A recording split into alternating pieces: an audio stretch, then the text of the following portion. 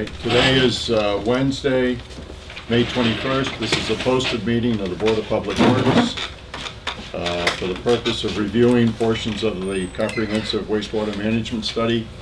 We do not have a quorum, so it's not an official meeting, but we're going to proceed with the discussions, and the meeting will be recorded by uh, Northampton Community Television. All right, thank you. Well, good morning, everyone, again. Um, so we're here a week later and to talk about, I guess, continue the conversation we were having last week about task nine of the CWMP and the wastewater. Um, I have on my right Bill Coppathorn, uh, those who may not have met him um, or just met him briefly before.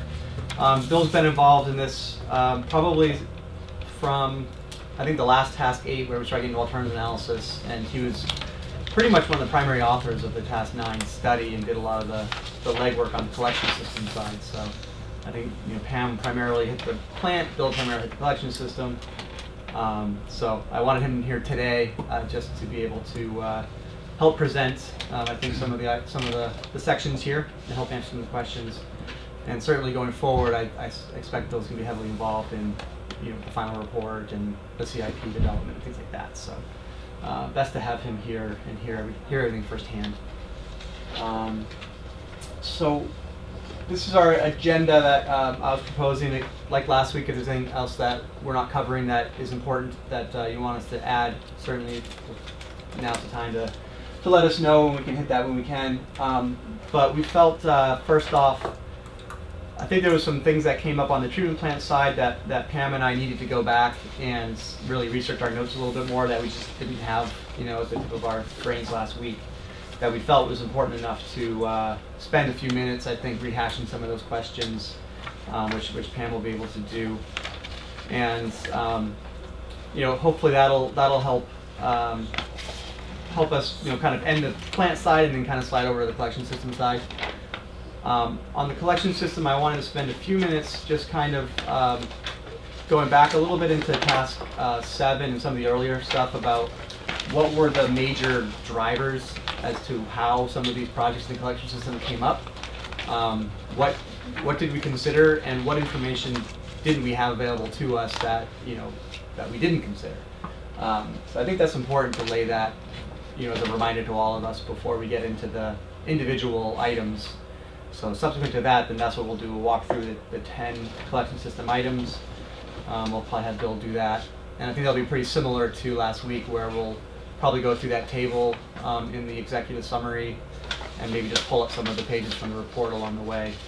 And um, that'll be a very open um, piece of the, the meeting where, you know, any questions or reservations you guys had, we'll, we can talk about it and just make sure that we're all on the same page in terms of what's being recommended and, and knowing what, what's involved. And uh, at the conclusion, just want to talk a little bit about what's ahead of us. I, th- I know I covered that a little bit last week in terms of you know CIP development and report development, et cetera. Um, but certainly just so we're all aware of what what's ahead. So I guess that's kind of a brief overview of, of what I was hoping to cover. Is there anything else that uh, I guess I didn't bring up that I think is important that people think are important? Sounds good, Dave. Sounds good. All right. We're particularly happy Bill's here. Good. Now that I- now that I remember his name. I'm very happy to be here. So. Bill's very happy to uh, get up earlier than me to meet me in Cambridge to then get in a car with me to come over here. So. I didn't know the trains ran that early, so. Good to explore the T. well, you told me that your your dog woke you up earlier than you intended to, so It did. so it worked out okay, anyways. Didn't need the alarm clock, so.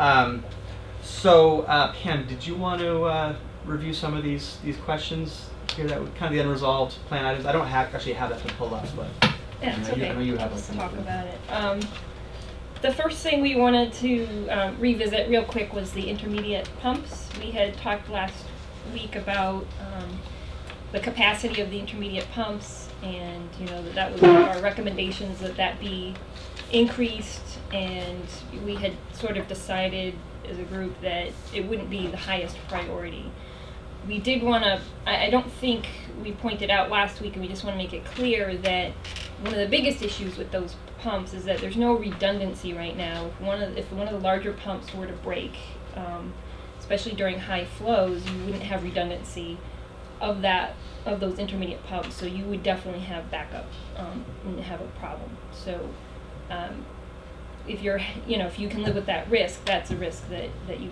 currently have at the treatment plant, that we wanted to be clear that you, that you had. Um, The- These are the three flood pumps? Yeah. um, yeah, the Yeah, they ones, fine. yeah.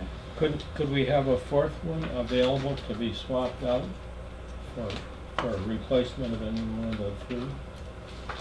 And, and Yeah. could, could, uh, would that free up one of the three to be rehabilitated, the pump?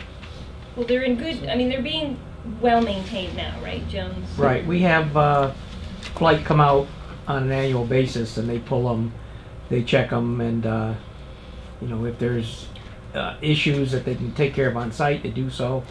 And if not, then they take them back down to, uh, to Connecticut to rehabilitate them. But they, uh, show very little wear from, uh, what they've done so far. Um, Part of the problem with upgrading that whole structure is that we are on a massive water table over there. And so to try and make that uh, wet well area there deeper is going to be a major, very costly undertaking to try and drop that down any lower. Um, I know John was telling me that when they put in the, uh, the the clarifiers and stuff like that, they actually had a point in time where they they uh, blocked off the uh, the old Mill River bed and they were pumping it out to keep the water table down. Because as soon as you go down several feet, I mean, you're in the water. There's no no way around it. Um, But having, having a spare pump on, on site might be a, a good option. yeah, it would also mean that you'd have to have the equipment to be able to swap them out. Right now, it's a it's a They're on, type of a crane truck that lifts it out because they're not exactly light. But So- they, they can be rented though, right? You can, you can get a cra- bring in a crane that you need. but in an emergency, I guess the issue is in an emergency situation, you wouldn't have the equipment you would need on site to swap the pumps out, but you could. Yeah, it would be, it'd be a matter of, uh, not only, you know, pulling one out, putting another in, but you'd also have to have, uh, an electrician on hand to wire it up. Cause, uh, you probably wouldn't have it already wired up into the panel or anything. Um, Yeah, I think the idea of having a spare on shelf is, is typically good practice. Um, but for, In this situation. for like an emergency situation or peak flow, if you're in peak flow and one goes down and you don't have the time to respond to it, that's where you want that built-in redundancy. So I think it's, it's typical to have that already in place, but certainly it's also typical to have spares available, you know, at least sometimes parts, you know, parts to rebuild pumps and stuff like that. Um, so I think I think what Pam is, is suggesting is that the nature of that concern is that the, the redundancy is just not there, you know, if and when it's needed. That should be reflected in the document, because it really, the document really focuses on peak flows Yeah. and not having adequate capacity, so Okay. We may highlight the fact that there are redundancy issues in that area as Yep. well. Yep. Does the document also need to talk about the, the VFDs and how we're looking at doing a bypass on those? I know they had the same issues with the blowers, right? Um, the You have a blowers bypass. actually have a bypass capacity. With the, the current VFDs, if we get one of those VFDs goes down, the pump is dead.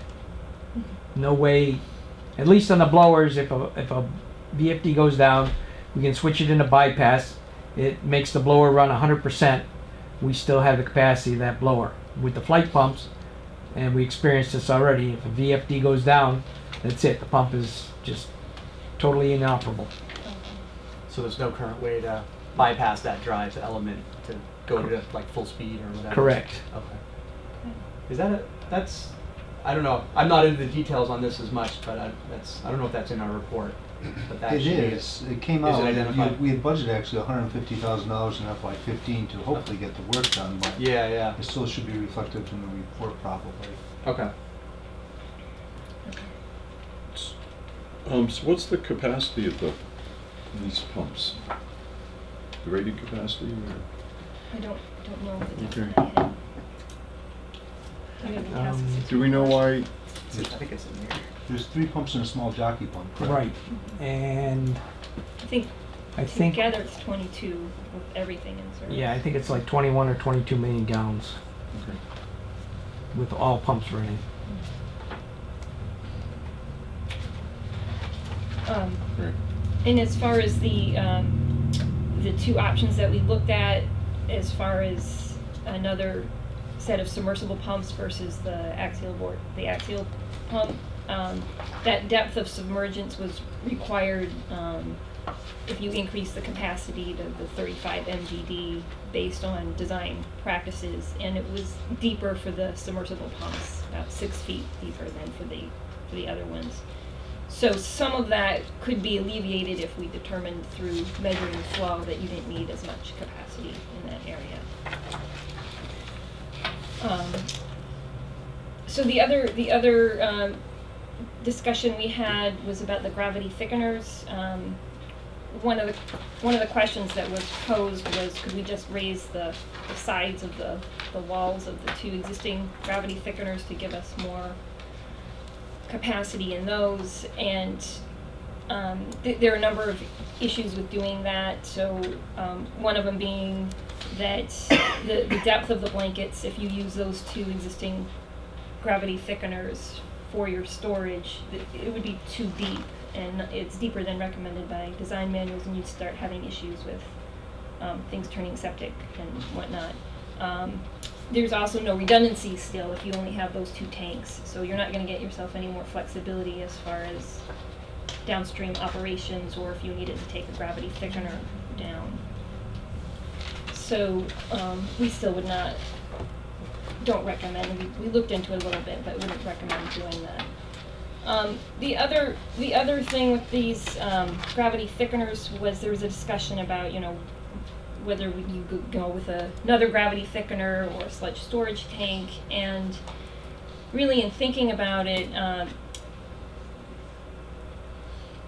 the big question is, you know, what's the what's the big driver of of looking at the gravity thickeners? And it seems like it's an issue of what what the driver, big driver for us when we were talking about this before was that there's not enough sludge storage on site. So it was so sludge storage was what was driving this analysis, um, not necessarily um, not having enough gravity thickeners. So what and um, if you're not using your gravity thickeners as a storage device um, container, then you have more capacity for um, for you know, more flexibility downstream in treating that sludge and when you treat it um, and thicken it, um, and dewater it and whatnot. So um, you know, ultimately, it's really your decision whether you go. You could go either way with the gravity, if the gravity thickener or the sludge storage tank. Um, and you you would if you went with the sludge storage tank, you would have greater flexibility downstream in your processing. You would also um, you know, you would also have some options if you needed to take a gravity thickener offline, because um, looking at your current flows, um, you know, your current loading, I should say, into the gravity thickeners is about five and a half through two, um, pounds per square foot per day.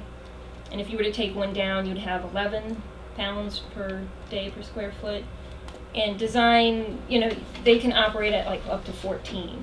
So you could theoretically op, you know, operate with just one online if you didn't have such a thick blanket in there. Um, and, and then the other question is how often do you need to take gravity thickeners offline? So we know we, you're going to need to do it maybe twice to rehabilitate the two existing ones. But do they? Do you ever other? Otherwise, Jim, do you have issues? Well, in years past, we used to take them down at least once a year, sometimes twice a year, because even though you have cutter equipment upstream and stuff like that, uh, when rags get cut up and stuff like that, all it does is it makes strings, and as they swirl through the pipes, they reweave, so that by the time it gets to the gravity thickener and you look at, at an empty thickener, the flights are covered in rags. Mm. and the more material that hangs on there, the more weight you're putting on the entire structure. So you know that really has to be uh, taken care of on a on a periodic basis. Um, I guess I would, su- I would suggest that if we're if we are upgrading the fine screening in the future, I was gonna say that. those kind of rags hopefully wouldn't get da- get down to that point at least at fre- as frequently. So the, the frequency of taking down and removing rags would hopefully go down. Um, but uh, certainly that's a, that's a good, a very valid reason why you'd want to take it down and, and, and inspect it at least once a year. Um, so I think we talked last week that fine screens was going to be something that, you know, was more of a second priority and something that we might do in, in conjunction with the biological treatment upgrade, you know, because some of those processes require like a six millimeter screen. So that's not something that we looked at, discussed maybe doing right out of the gate. So, you know, when we talk about CIP and prioritization, you know, maybe we'll we'll have to factor in gravity thickening with fine screening if that's the case. But it seems like uh, I think from our perspective, is you know, and just talking about it internally, it just seemed that the main the main driver was storage, which is I think a more of a frequent headache than than how frequently you'd be taking the gravity thickener down for, for maintenance. And that's just kind of a you know more of a typical arrangement is that you wouldn't expect to take a, a GT down that often in that it's generally a low you know it's a low horsepower kind of a low maintenance thing. Um, so I think the benefit or the upside of the sludge storage is a little bit greater and it, and it was slightly co- more cost effective than the third one, the third gravity thickener, but as, as Pam said, ultimately, it's, it's, there's no wrong answer here, and it's more of a preference thing, so if, if having that third redundant GT is, is seen as a really huge benefit, and you do get, you will get a, kind of a byproduct of that, some additional storage, you know, which, which can't be ignored, because that's important, um, you know, then certainly we should go that way, you know, so, I think, uh, we don't have to decide today, obviously, but, you know, if you guys wanna talk about it internally afterwards and, you know, if there's a favored recommend, recommendation, we can certainly swing either way with it. I think if you just describe the issues the way you just described them in the document, we have what we need. Yeah. really, At this point, right? Okay. And then you Well, the other factor, though, we talked about was uh, the issue of odor control and whether, whether storage Mhm. sort of has inherent more odor control issues than thickening, just because of the way you mix the material. Either, e- yeah, and um, either one will need odor Mhm. control, and the it, the sludge storage you could design it. It there's capacity in your existing odor control system to handle it, so it wouldn't be an extra. Okay. So since you reviewed this and now that Coca-Cola's online with their plant, what kind of percentage of sludge production are we down? Is it ten percent, twenty percent, thirty percent? Um, Does that offset one of these needs because of that reduction? yeah, we, um, we have seen a, a dramatic drop in the uh, amount of sludge. Used to be, like in, in past years, um, after a, a regular weekend, not a three day weekend, but a regular weekend, we would see the thickeners actually start to overflow on Monday, and it would force us to dewater extra hours.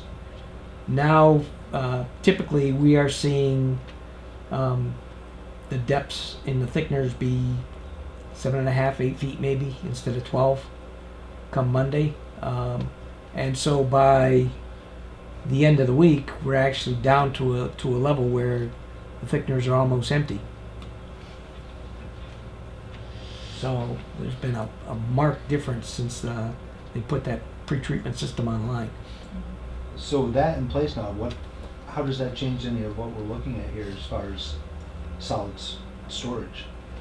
Well, I think it probably because the the basis of design for the sludge storage tank was was based on you know design values for the plant. So when you are at the rated capacity of the plant, this is the expected sludge that you'd be seeing.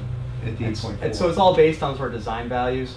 Um, and then it's and then we I think there's some tables in that compare to 2010 2011 data.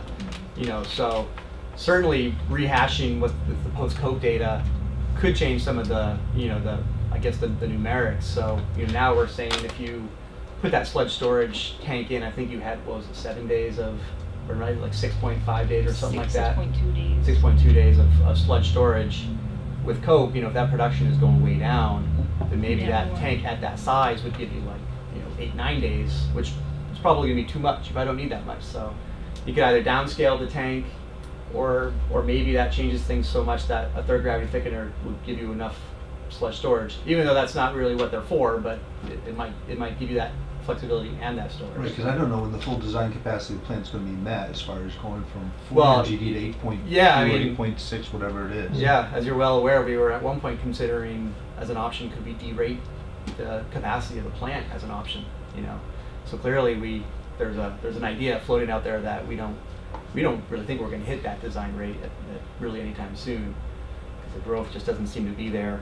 You know, our collection system recommendations aren't looking at exhaustive, uh, expansion of the collection system, so.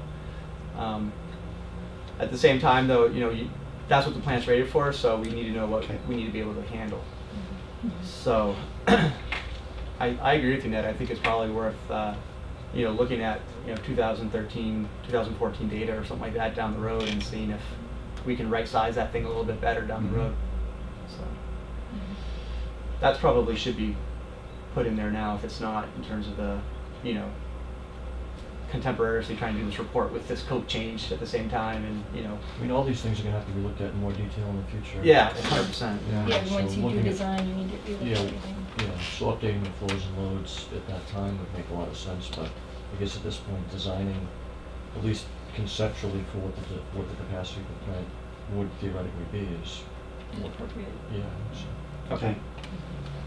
Um, and just before we move on, I just want a couple of things to point out. You, you will have um, a little bit more odor control with a sludge storage tank, but with the third gravity thickener, keep in mind you're also going to have to operate that gravity thickener, and you'll have dilution water, and you'll have to have recycle flows back. So you'll have pumping costs as well. So the costs will probably, you know, offset each other, even out. So there's not necessarily a big savings the odor control.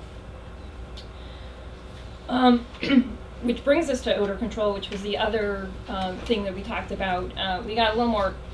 Uh, we read more closely what was being proposed, and it's not it's not a wood not wood chips. so you'll be happy to know. We made that up. Yeah. Um, Nice. did you end up printing out the? I have a few, yeah. Yeah, so ultimately, what, the, the big decision is whether you want to try to have odor control for your primary treatments or your headworks or both, or if you want, and if you want to try to tie them into the rest of the plant. Um, you know, right now, the odor control is, is down by the sludge area, and the primaries are all the way on the other side of the plant, and the headworks are on the other side of the plant. So, in order to tie those, there would be capacity to tie those into the existing odor control facility, but you would, that's not generally how odor control facilities are designed. They're usually built closer to the source of the odor, so that you would have extensive piping through, through the plant to get air from the primaries to the odor control system at the end of the plant. So the, the system that we, that, you know, that we proposed, obviously, you know, you, you could put something else in, but this particular one is a low-cost alternative. It has an inorganic media inside these, um, uh, packaged type plant, um, container unit, and it would grow bacteria on it and treat the air that gets pumped through the system. It would be on a pad, and the pad would, um, would fit in the area between the secondary and the primary treatment plants. And you would, you would come in with a crane and you would pick up the unit and put it on the pad behind, behind the clarifiers. So that, and, you know, you could, the, you know, you, any side, you could treat both the primaries and the headworks, or you could treat just the primaries if you wanted to do that. Um, either option would be available. Uh, so this, so our recommendation would be to have a smaller bio, you know, odor control system at the front end of the plant as opposed to trying to tie it into the, to the back end of the plant. And it's, uh, it's not wood chips.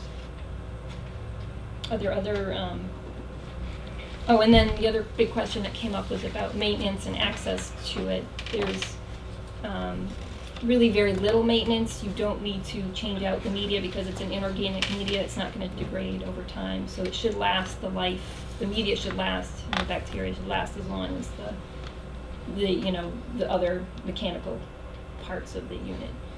Um, it would, you know, obviously it's a there's a fan and things like that, so there would be some checking in on it and maintenance of the fan required or whatnot, but it's not, it wouldn't be, you wouldn't be having to go in there and change out media and things like that.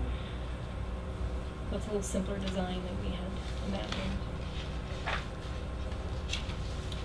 So, the issue is, do, do we want the report to recommend control for both locations or just one location? That's, that's what's involved in selecting one of the two options. Um, yeah, Yeah. I think it's fine to carry both at this point. It Doesn't mean we're gonna do it right. early on, or you might phase it or something. Mhm. And you could look at other, you know, beyond this, I mean, this is the one that, you know, we looked at, but you could obviously look at other options. I would probably want, uh, just, there's a number of different odor control technologies that can be used. Mhm. I'm not actually familiar with, well, I'm not an expert in any of them, for sure, but I'm not familiar with, with this type of, um, sort of biological type of medium odor control.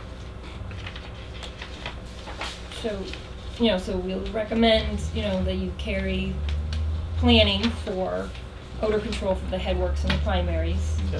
Understanding that when you decide to carry out the project, you'll need to do a more thorough technology review at that time. Sure. See what the odor, what the, you know, what are the odorous gases that we're trying to control, and working with the appropriate technology. Mhm. Right. And by the time you do it, you know, technologies continue to change, so there might be something different in it. Okay. And that, and that's kind of what I had on my list. I didn't know if anybody else had any burning questions about the plant that they wanted to address. If we put it off for budget reasons, maybe ten years, would the consequences be highly significant? You have to talk to your uh, homeowners across the street. They're not complaining too loudly at the moment, but Oh, actually, uh, we haven't had a complaint since probably October of last year. October 2013. Yeah, Yeah. when they close the windows for the winter. Yeah, I mean, we would, I think we would rely totally on, on you guys to tell us how big a priority odor control is. I mean, Yeah. you know, these are typical sources that do cause issues at some plants, but some neighbors might be more resilient to it than others, so. You know, it's, it's really, uh, once the CIP is taking shape, you know, we can almost put this anywhere, you know, in terms of priority, so. Well, for, for two, two million dollars, it's worth, uh, tomorrow. Mm-hmm, mm-hmm. All right, we got it done tomorrow then. The only other thing, um, Pam, which I don't think you mentioned, was last week we talked about the electrical um, section, how I think the narrative just wasn't that detailed about what was involved in those upgrades.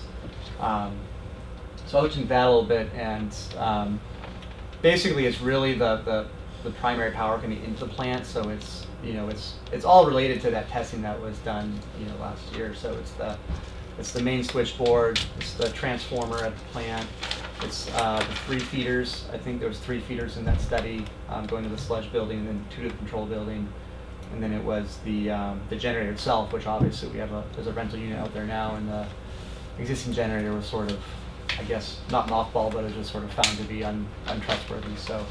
Um, so really that, I think that electrical infrastructure was just to that level, you know, so once you get past the MCCs and you're looking at the individual power to the individual process equipment and stuff like that, that wasn't included in that piece.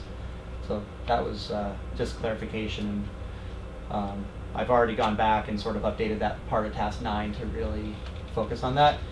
And the, the narrative did cite the um, study that you know Al Wells had worked on um, and RDK on that portion of the electrical.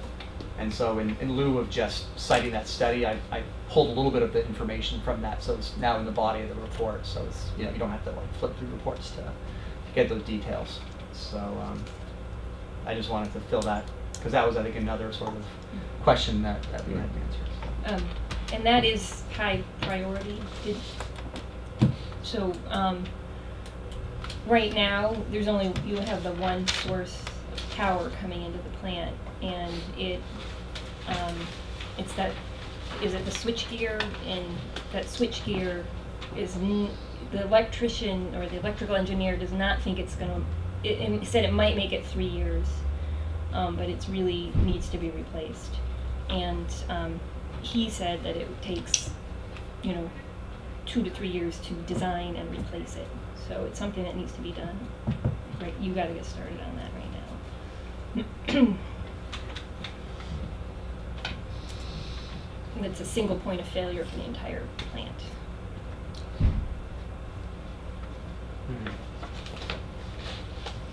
Well, Also, I'd like to bring up when they tested the old generator, there were some inconsistencies that came up on the report there that didn't make any sense. Um, like they quoted the uh, antifreeze as being uh, old and spent, and we know it had been changed just about a month before. Um, so, and there were a few other things, and it wasn't run under. Um, I don't know. I think they cut the test short too fast because they were afraid of something happening, and so it just some of the numbers just didn't seem to make sense. Uh, so we are uh, uh, have scheduled for another load bank to come in and for the thing to be tested For the uh, generator. properly. Yes, the generator properly tested so that we know exactly what what we have there and. Uh, if it is something that, that can be, you know, brought back online, then we will do that. Mhm. Um, but we need to make sure, you know, the parameters that exist there, and not just uh, a, a few uh, thoughts and, and ramblings that we got in that report, because some of the some of the data just didn't didn't uh, didn't make sense. Well, I was looking at the generator, That's the generator Yeah, itself, generator. right? right, but the, the switch gear is still, the switchgear is still an issue. Um, and as we found when we broke one of the one of the handles on one of the breakers, it, it took uh, a long time to find a replacement and to find somebody who could actually um, slide out the unit and replace it and put it back in. Um, I have a feeling that those people who are experienced in that are a dying breed. Jim, those questions that you had, the inconsistencies in the, in the study, were those um, raised to RDK or Al's attention, do you know? They weren't, Okay. so the, the issue is that we, we want to hire a contractor to come in and look at the generator Yeah. to see if it could be rebuilt. Yeah, yeah, yeah. and, and used, for the short term, whether it's a Sure. couple of years, two or three years. Mhm. What would the investment be needed Yep. to keep that thing running? Okay. So I think when Jim and John provided some of the information to, who's the company? that's FM coming generator. FM, FM's coming in. Okay. Some of the data that was presented, uh, Oh, they're the ones who was kind not, of raised the was, question. was- yeah, so they felt it wasn't complete, like we Yeah, pulled, yeah. we pulled the plug in the load bank, for example. And I think they felt like you needed to do the whole, you needed to run the load bank till the, for a longer period of time to, to better diagnose the issue with the generator. Yeah. I think was what, what Carver had told me. Okay. But anyway, that's the, that's the genesis of these comments, that Right, I see. FM generator's coming out to take a look at the generator to see if it's something that, you know, it's got very few hours on it, whether we can do something to, to continue to rely on it in the Right. future. And then, you know, that, that might just buy us some time, right? Was it uh, the same size test? Was it 450 kilowatt load bank or something like that? Same load size and four hours and all that stuff? I mean, the parameters of the test is pretty much the same. Okay. Yeah. I mean, certainly, if you can, if you can stop renting the backup unit and, and use what you have, I'm sure Yeah, you'll save. an option, right? Yeah. Okay. Is there, so at this point, there's nothing you're looking for us to do then on the study that, that was done? Okay. All right. Okay, so. So I guess that's on the plant side. Uh, I think those are the clarifications we were looking to make. I know that, I know that we left last week with a couple of questions, so. um, Obviously, there's a little bit of work for us to do, I think, in the report to clarify a few of those spots, so we'll, we'll make sure that gets done. I I just had one question Yeah. on the axial flow pumps. Are, are they just inherently longer, so they would have to be mounted deeper? Or was it a capacity question that caused the depth to be a question? You're talking about the, the deeper sump foot on the wet well Yes, for those? Yeah, Well, actually, I think it was the other way around, right? Wasn't the submersible slightly deeper than the than the propellers? So basically, the the depth of submergence requirement is comes from Hydraulic Institute, so which is like you know kind of the standard for designing you know pump systems and, and hydraulics. And what the purpose of that is to avoid is entrainment of air and, and vortexing. So you know you if you have too much flow going through there, you could pull air in, you know, which you're not going to want to do. So um, the two factors that influence that calc is the diameter of the suction line and then also the, the gallons per minute that are going through. And so in, in the case of the axial versus the submersible, the, the diameter of the inlet is a little bit less for the axial pump, so the depth of submergence is less. So that's, that's what's driving that sump depth. And also the size of the. Well, the fa- yeah, and the reason why you don't you don't need that now is because your pumps are smaller. So the recommendation to go to you know a peak flow of 35 is a 10,000 gallon per minute pump. right. So that really drives the need for more submergence. So Which therefore is not a need.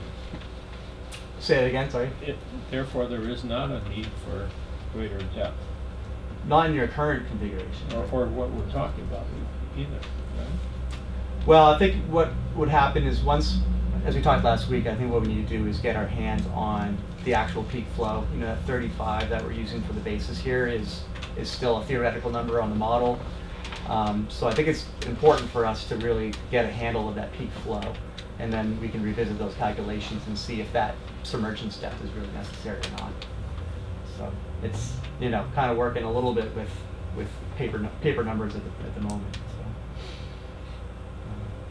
Does that help? Does that clarify that, or? It, it does, Yeah. okay. surprisingly. oh. I don't necessarily have the same conclusion, but. Yeah, yeah. it Has become more clear. Yeah. Okay. All right. All right. So, uh, collection systems. I just want to spend a couple of minutes. Um, I guess before we, we let Bill loose here is um, on the collection system. If, if you recall, you know we we use a, a risk-based you know asset management approach. So um, we try to collect as much information as, as we could, um, and we look at things of how can your pipes and your pump stations fail. And by failure, it's not it's not necessarily a structural failure or a sewer collapse or, or something like that. Basically, it's you know this system was designed to perform a certain function, and if it, if it doesn't perform that function, we're calling that a failure. So if it if it backs up, you know, because of it's too small, you know, can't handle the flow that's coming into it, you know, that's a capacity failure. If the system is too leaky or has um, illicit connections into it, so there's too much inflow, too much infiltration, that's a different type of a, of a failure. Uh, certainly condition, you know, so if there is concern about it physically collapsing, that is a different type of failure. So we kind of look at all the different modes or the different ways in which your infrastructure can fail. And then we also look at, okay, so what's the probability of that actually occurring, that failure occurring? And if that were to occur, what's the ultimate consequence? So what's going to happen? So if, uh, you know, so if you have too much II in a certain system, so maybe during peak storms, you know, your, your system surcharges a little bit, but you might still have enough freeboard that you're never really that concerned about an overflow. So, you know, maybe you can maybe you can allow for that amount of II, and the consequence isn't that big of a deal. Um, so, if you, if you remember, we kind of went through that exercise, you know, on the collection system. The thing that I think the key thing that that we don't have in terms of, of information in, the in the study is really condition. So, um, some CWMPs, like I think Springfield we were talking about a long time ago, they're before they even get into this discussion about you know risk and, and prioritization things like that, they're really investing you know millions of dollars to CCTV almost every pipe, you know, inspect almost every house, you know, really get get the metrics very sound, and they're in a different position than Northampton is because they're under an ACO, they're a CSO, you know, they have a lot of different needs that that we don't really have here. Um, so we we never really had that in the scope was to look at you know a very exhaustive CCTV program and, and study the condition of things. In cases where we don't have condition information, sometimes we'll use age of the system as sort of a surrogate for condition. So older pipes are generally assumed to be in worse shape. Um, the way that this CWMP came together, we sort of threw that sort of uh, out the window a little bit because uh, we do have pipes in the system that are, you know, you know, 1800s vintage brick pipes that are still in great shape. So it's it's a little it's a little misleading to just assume age as a surrogate for condition, and that was fine. I had no problem with that because I think the more I get exposed to this over the years, I, I totally agree with that. So. Um, our assessment to get to the point where we are really doesn't have a lot of condition information and we don't use age. So really what's driving the, the, the failures and the probabilities and the, the risk in the collection system is infiltration, inflow, and um, the hydraulics. So I think, you know, so, so from those three failure modes, I think was probably pre- predominantly it. We did do a very minimal, you know, uh, I think we did 250 manhole inspections, um, and you know we had a little bit of, uh, you know, just sort of um, anecdotal information of the system. But really, from a condition standpoint, there's not a lot in there.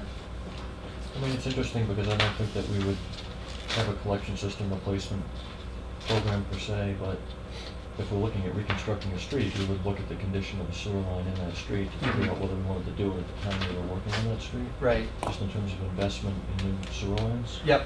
Um, otherwise, the II and hydraulic capacitors are pretty important drivers for deciding whether you, you need to do something now. Right. Right. So I don't feel like the analysis is lacking that much. Um, Okay.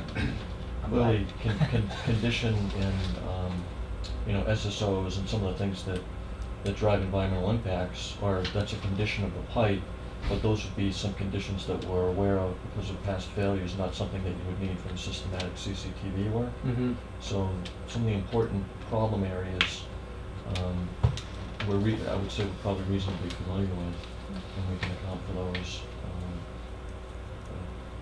So Um, Dave? Yep. Sorry.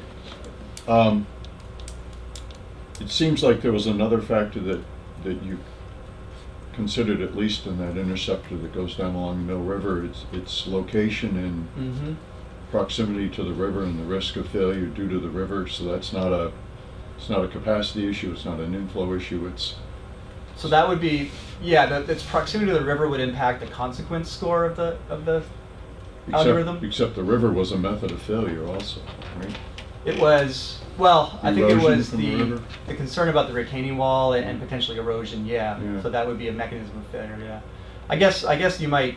Uh, yeah. No, I guess that's true. And we actually that wasn't even on our radar at all. And, and Ned brought that to our attention in one of our meetings that there's concern about that retaining wall. So But that may be the only location where that's a factor, I mean, to our knowledge, that's Yeah. that's the only that has been risen So- to us. Anyways. so that's kind of a, a little bit of a special case, I guess.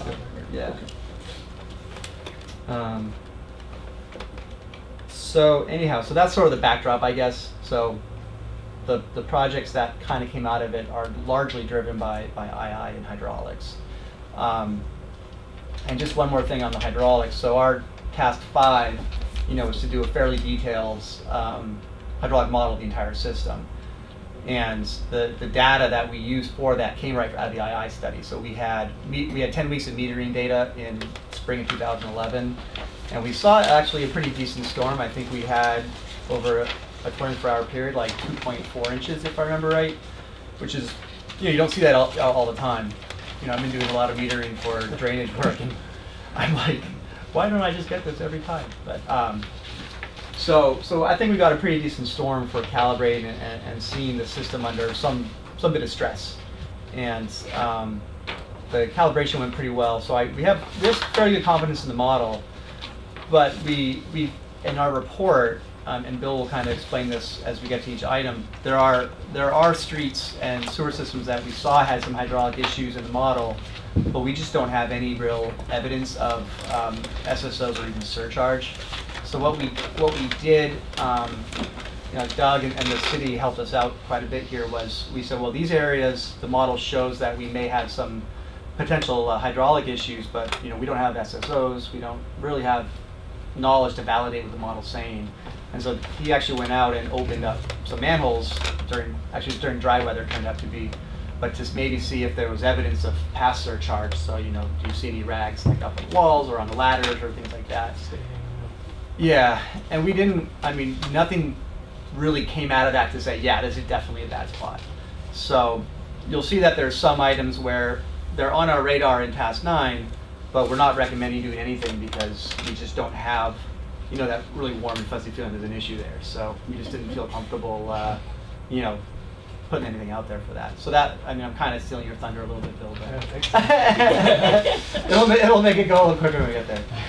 Um, so that, so that's just a little bit of background there. So I mean, I just, I think if we just jumped into it without that, I, you know, hope I'm I have a serving question. the table a bit. Yep. Um, I'm not sure, but I, don't, doesn't the sewer department have uh, a camera They do, and don't they record? they do. So there should be some data available. There's Uh, limited some data. lines. Right, there's limited data. It's all cataloged Yeah. on our server, Yeah. what we have. If we don't have the video, they're VHS format, most of them, if I recall correctly. Yeah, there's tons of those down at the Right. treatment plant. And the accompanying reports have all been scanned.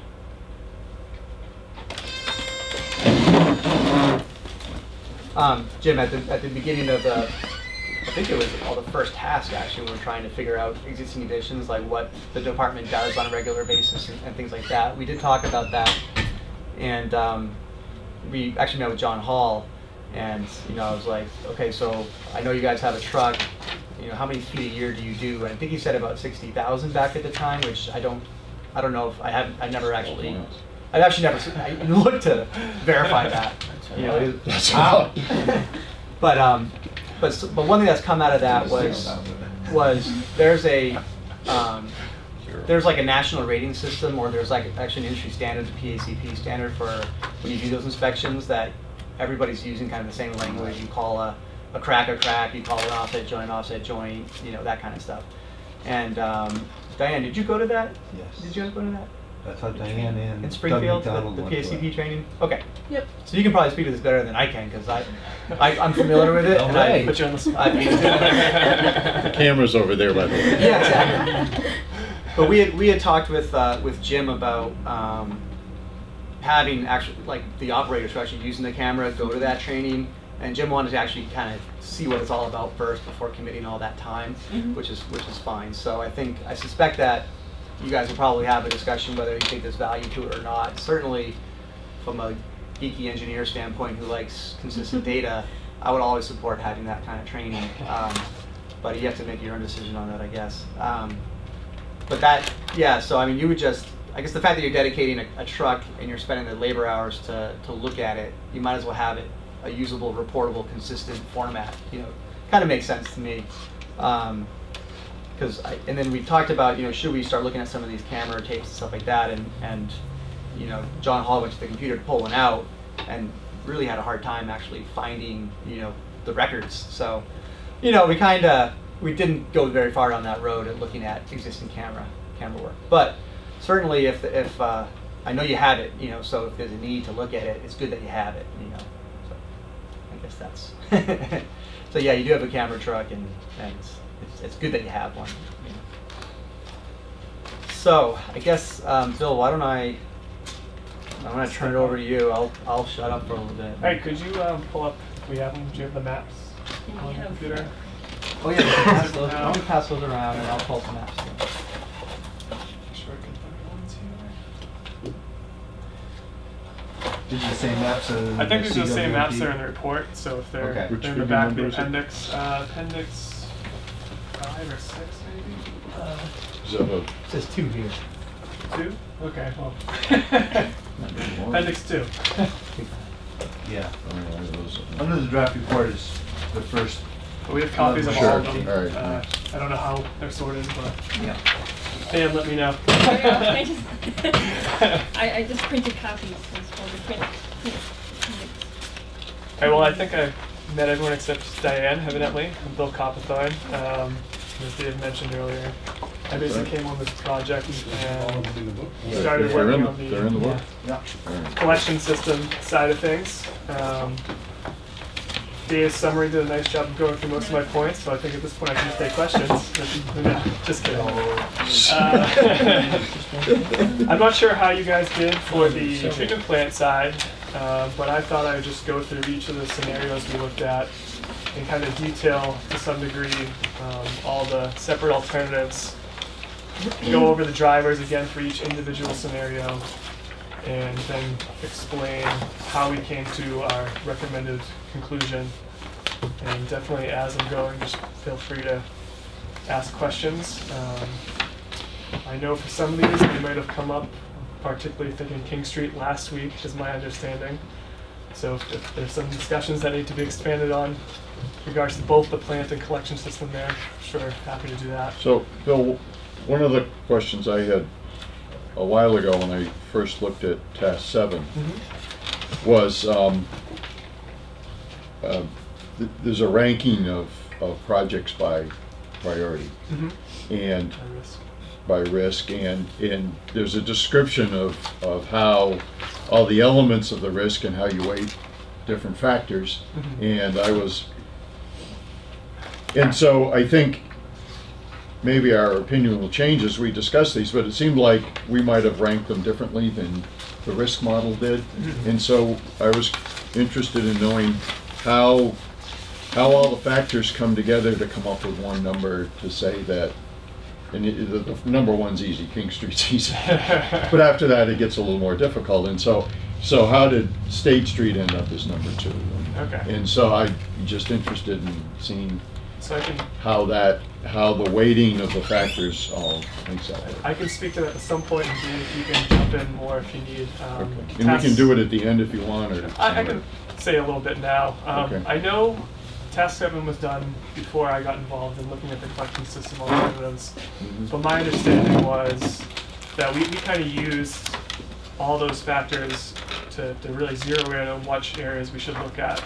So we definitely use those priorities to, to focus our investigation on the certain different areas. Mhm. Uh, once we started looking into the problems in the specific areas, and I know this came up in some of our earlier meetings, and, and Dave kind of went over it a bit to some degree. Once we dug in, we saw, okay, maybe some of these issues aren't really as bad as the risk model showed them to be. Okay. And that kind of adjusted our focus a little bit as we went through task eight and further into task nine here. Um, I don't know if you have anything more to say to that. Uh, yeah, of course. I do. um, I guess I'll I'll just back up a little bit, um, maybe like a little bit wider lens. I mean, the whole the whole asset management approach is is something that I think you know engineers and, and, and cities and towns are starting to embrace or embracing or have embraced because there's just so much pipe and manholes and, and, and so many priorities that you have to deal with. How do you know you know how to how to put one over the other? And so it's it's more of a the asset management approach is more of a like a philosophical approach where you, you develop this metric based on probability and consequence of failure, and that should hopefully help you plan for future activities.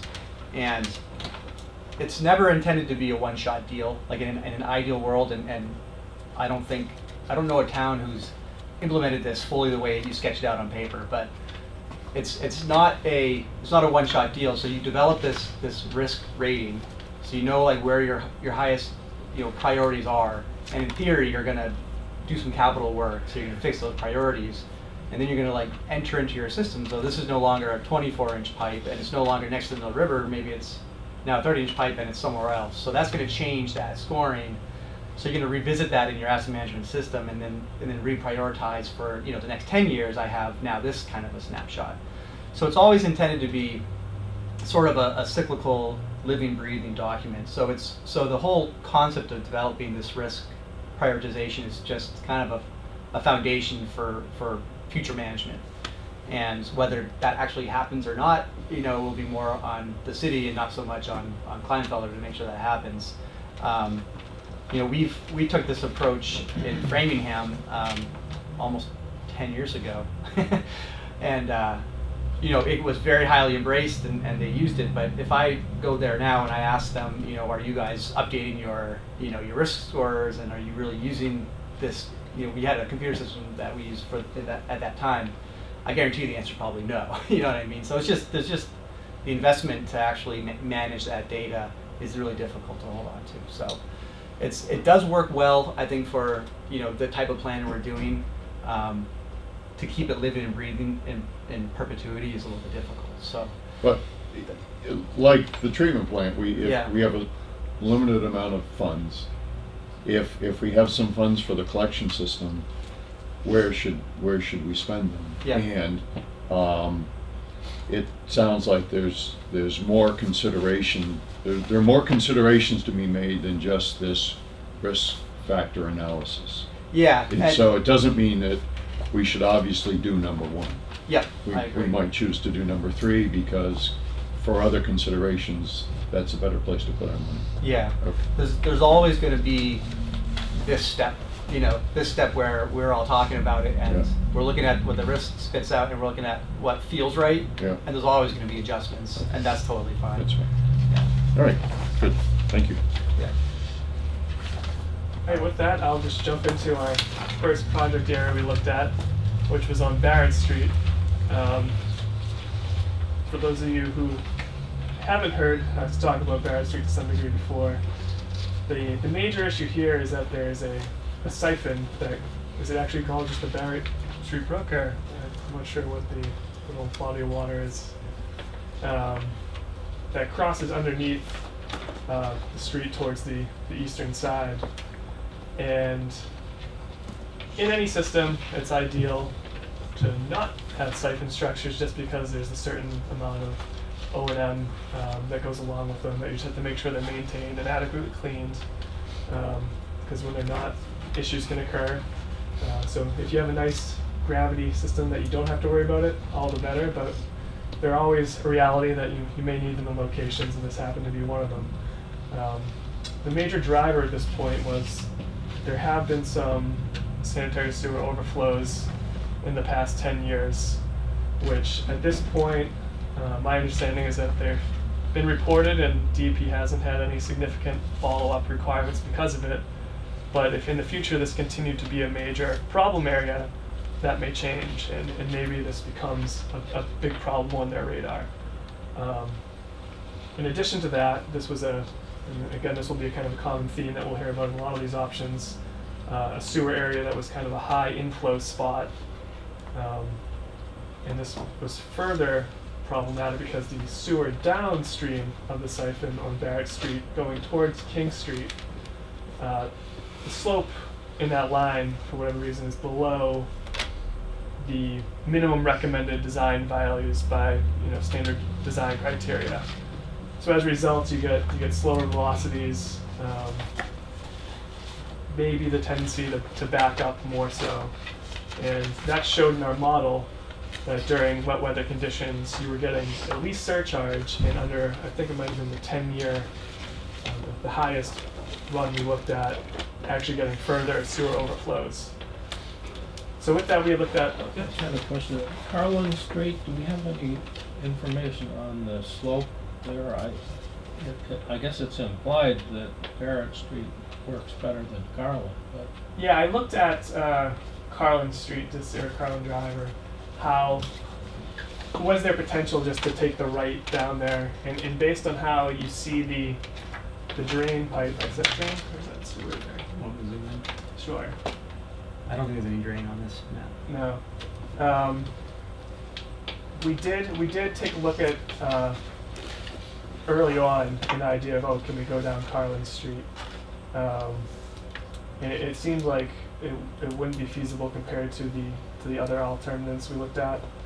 I at this second I can't honestly remember what our final conclusion was, um, but it's certainly something I can back back check on. I know when we had the CSO on Barrett Street, we bypassed pump to Carlin Drive, Mm-hmm. and we don't have any issues on Carlin Drive backing up when we do that bypass pumping. Okay. All right, then we definitely can revisit that. There's gotta be a simple reason, Yeah. like the grades don't work. I mean, Yeah. otherwise, otherwise, otherwise you would've, otherwise you would've carried it. It's- It's such an obvious solution, Yeah. that it, it's gotta be that It's the gotta be grades. higher. Right. Yeah, They have a sewer at the top, that's right at Barrett Street, maybe it's three feet higher than the, Right. the one in Barrett. Exactly. Um, But I- I don't remember off the top of my head. Carlin is also a new street, isn't it? Yes, it is. Ten years old, twelve, fifteen? Uh, fire station was built, it's probably fifteen. We'll make sure we drive home that way. I know if you're standing on Barrett Street and you look, the road looks up, but obviously the pipe's going down there, so the pipe's going with gravity. Um, I do remember that much about when we were out there at the site. So our final four uh, alternatives that we carried over to this side. Uh, the first one was to increase the slope of the gravity pipe downstream of the siphon. Um, the thought there was, okay, if we get a, a better slope, then we'll have better flows, and maybe these backups don't tend to happen along at the siphon area, no overflows. To really do that properly, though, it's not as simple as saying, okay, we'll let's put in that two or three hundred feet of pipe from the siphon down to King Street, and we'll be all all set. To get minimum slope uh, for the recommended design guidelines, you actually have to, and if you can pull that down a little further, go all the way down to where it connects at Church Street. Down here. So this kind of initially, yeah, So it's really a King Street problem. it, it really turns into a combined King Street problem, yeah. Um, in that the slope in King Street is adequate. There, there is enough available slope to get a grade that you could meet recommendations for both the line in King Street and in Barrett Street. Right now, the model wasn't showing any issues um, or significant issues on King Street. But in order to make Barrett Street work, you're flattening out King Street's sewer line down through King Ch- Church Street. I know this is kind of confusing. Um, I think we're you. okay, all right. so yeah, it becomes a, a much bigger a Barrett Street and a King Street issue if you if you look at going in that solution. The second alternative we looked at was uh, kind of creating an, a relief sewer almost, just to try to get some of the flow that's going down Barrett Street out of Barrett Street. The thought being lower flows, maybe no problem at the siphon, everything just goes nicely. Um, the route we ultimately selected was to continue down, I believe it's Jackson Street to the south, and then cut over to the bike path and connect to the sewer line from the bike path. Some of the factors here are that that's private land, so uh, you know easements would have to be um, obtained. Um, but it, it did provide a solution that, that got some of that flow out of Barrett Street. Uh, I'm, I'm assuming um, we looked at the, the bike path itself and saw that had enough capacity to take Yep. that diversion. Yep, and uh, I'll go over that a, a bit once I, I wanted to summarize these all, and then I'll, I'll go into kind of the modeling results and how we formed our, our decision here. Um, A5, as I was saying earlier, uh, inflow is an issue in, in many of these sub areas that we're still looking at. And part of the solution here was do we just look at you know, an SSES study and try to identify ways that we can reduce inflows into the, the Barrett Street area? And finally, um, was okay. Let's just look at that two or three hundred. I can't remember the exact length now, but estimating um, it's probably more like five or six hundred feet. Uh, Barrett Street downstream of the sewer. Can we just upsize the sewer pipe, and will that provide you know enough additional capacity downstream that things don't back up into the siphon? Um, so we took all these, and this was one area based on the SSOs that we thought was really important to kind of run each alternative through our model. We didn't do this in all the locations, um, just because it, it wasn't necessarily warranted. But this was this was one spot we really felt this needs to be done, and it actually had some kind of surprising results. Because I think just initially we all went into this when we talked about it thinking, oh, well, if we increase the slope downstream and, and make everything meet the minimum required recommendation slope, this thing will work nicely and we'll be all, all set, no problems. Obviously, it's a big project, but it should work nicely. Uh, the model actually showed otherwise, though. The model showed no improvement if we went with the A3 option and, it, and enhanced the slope on Barrett Street. Because of that reason I said earlier, that will actually flatten the slope in King Street. So what happens then is now you're really getting a backup from King Street into Barrett Street. It's keeping the flows from rushing out of the sub area as quickly, and there was no change. Um, so obviously it was a pretty substantial project, over three million dollars, and our model results showed no benefit. So that was that was the reason we didn't think that would work out for you. I'm sure you agree. Um, When you ran the model, you ran it under a, A two- wet weather. two-year Yeah. wet weather event. A two-year wet weather, that, that was the model run, yeah. So that was under, these are all under wet weather circumstances. So, Phil, is the issue that, is, is it a siphon capacity issue, or is it it- a downstream back surcharge issue that keeps the siphon from functioning at its capacity? From from the model results, it seems to be more of the downstream issue. Um, Okay. So that, that's why if you, if you reduce the flow, it will- like that's you why we're not looking at the siphon itself. Right, right. The siphon The siphon is pretty new and it was designed with a six inch siphon with an eight inch Yeah, um, overflow, right? Yeah. and the siphon is that just It's- it's upstream really of the hard dark see. blue line? Yep, there's two manholes right there, directly up Probably like upstream of that arrow. Nope, it's, it's the Oh. very top of the Wait, wait, blue wait, line, right, right there. You can see the stream bed coming from Oh, the yeah. north. I guess that's No, I can't. Yes. Well, those two lines, where the parcel lines are. So the siphon's between those two green manholes? Yeah. On this map, it doesn't Really show it very well. Yeah. It's a very short siphon. Yeah. Yeah, you might wanna label that. Okay. And the only time we have the CSO is wet weather conditions, Yeah, deluges of rain yeah, is when it happens. yep. Very heavy flow. Right, so what, what I don't know is, is the II from Hamden Gardens and Coach Light and Pheasant Hill, are they tied into a sanitary system? Or is it further up, opposite of Jackson Street, where we have the swamp up there, which we already did a cured in place pipeline up there years ago, to try to cure that, at least an, inf- uh, an eye, uh, the infiltration problem Mhm, that we mhm. thought we were having, I don't know, fifteen years ago, so that's what I don't know, is where all the water's coming from. Yeah, I should take a step back. So it's obviously a combination of both factors. It's a com- combination of the water upstream of the siphon. Once it gets to the siphon, the issue becomes the downstream capacity and whether it's actually getting out of the area or not. And that's when the backups seem to be happening based on the model results.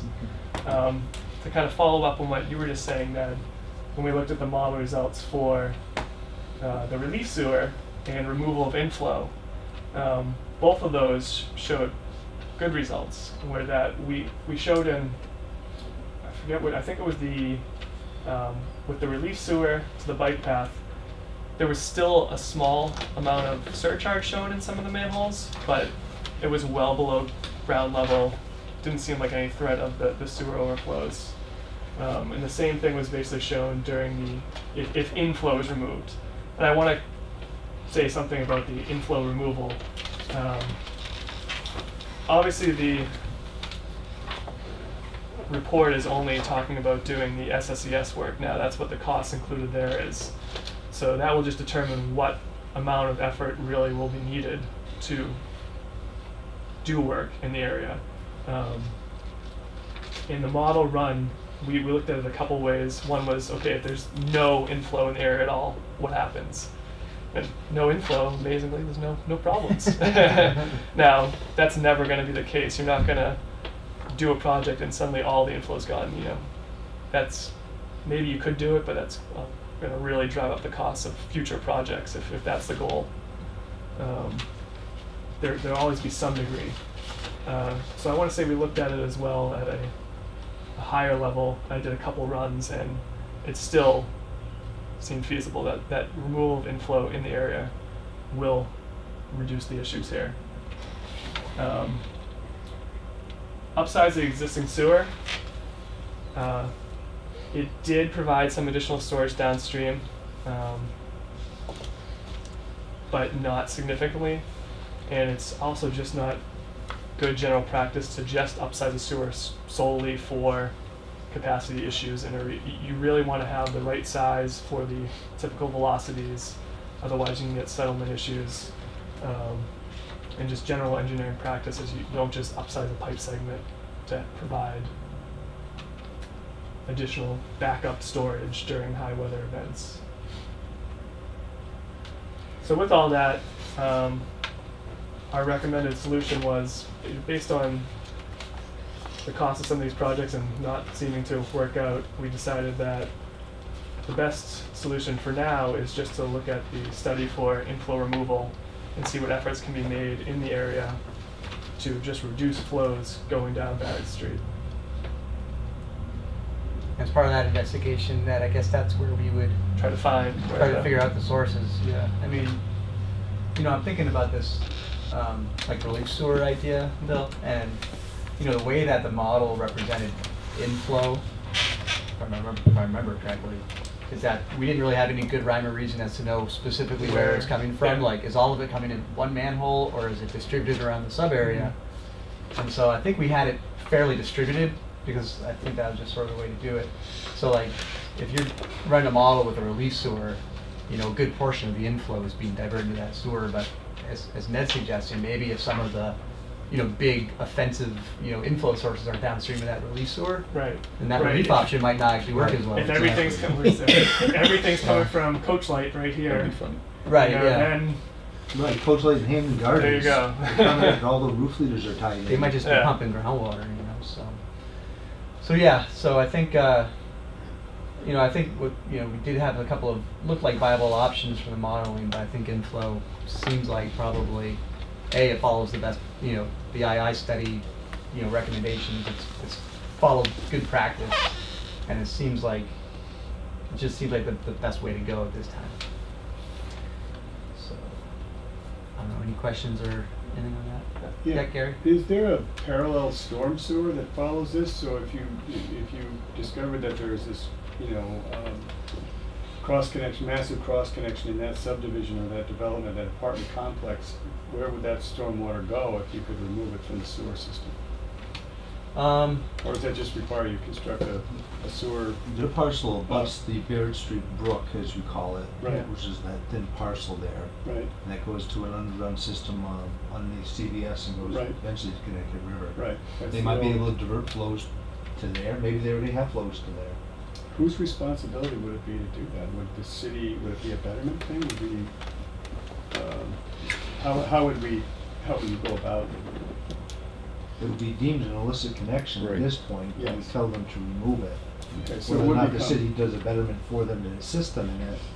You know, we already have a betterment for Coach Light Apartments for the pump station down there. I think that was a twenty-year assessment, a That's betterment we did. Mhm. That's a difficult problem with, with inflow, right? Because you just, you call people up and you tell them, Get it's it an out." illicit co- connection, you gotta get it out. Right. But then when you look at the practical aspects of it, you know, you're like, hmm, it's easy to tell somebody to do something like that, but there's no infrastructure for them to connect to or anything else. Exactly what my question is. Right. What, what, where does it go? If it doesn't go into our storm, uh, into our s- sanitary sewer, where, where does it go?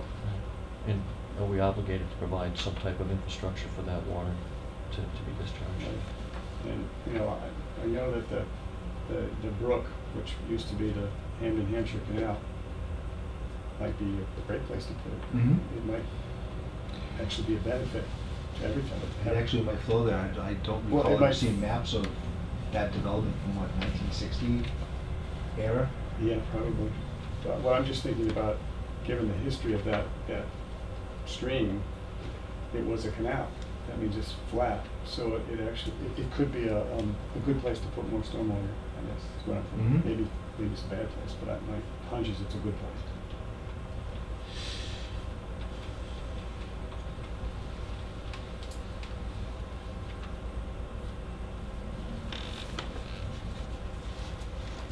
Okay, um, any other thoughts on that? Right, and then we'll move on to the big topic, I guess, it sounds like. Yeah. Not as big as you would think. Not as big, so we'll just Yeah, it's over. over, see it, bye. Ten million. Ten million bucks, you got ten All right, million move, bucks? moving on to State Street. um, no, really, I, I guess um, with King Street, I wasn't here for the discussion last week, and my understanding is the main question was, all right, is it worth doing stuff with plants and ignoring King Street, Eh, or or do we do a combination? or- Postponing. Post, yes, not ignore, not ignore.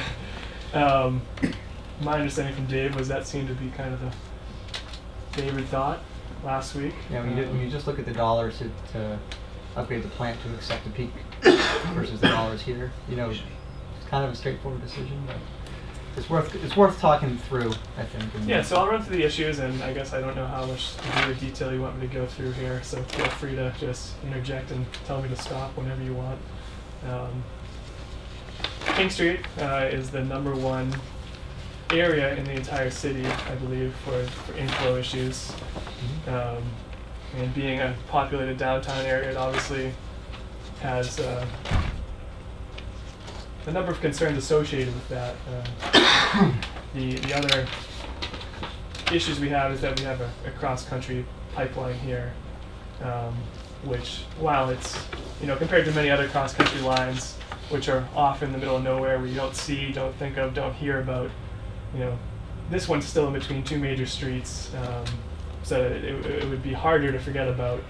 So some of the typical concerns you may have with a cross-country line are, you know, maybe a little bit less here. But the, the big concern is, is that the pipeline was originally constructed under um, Hotel Northampton, right?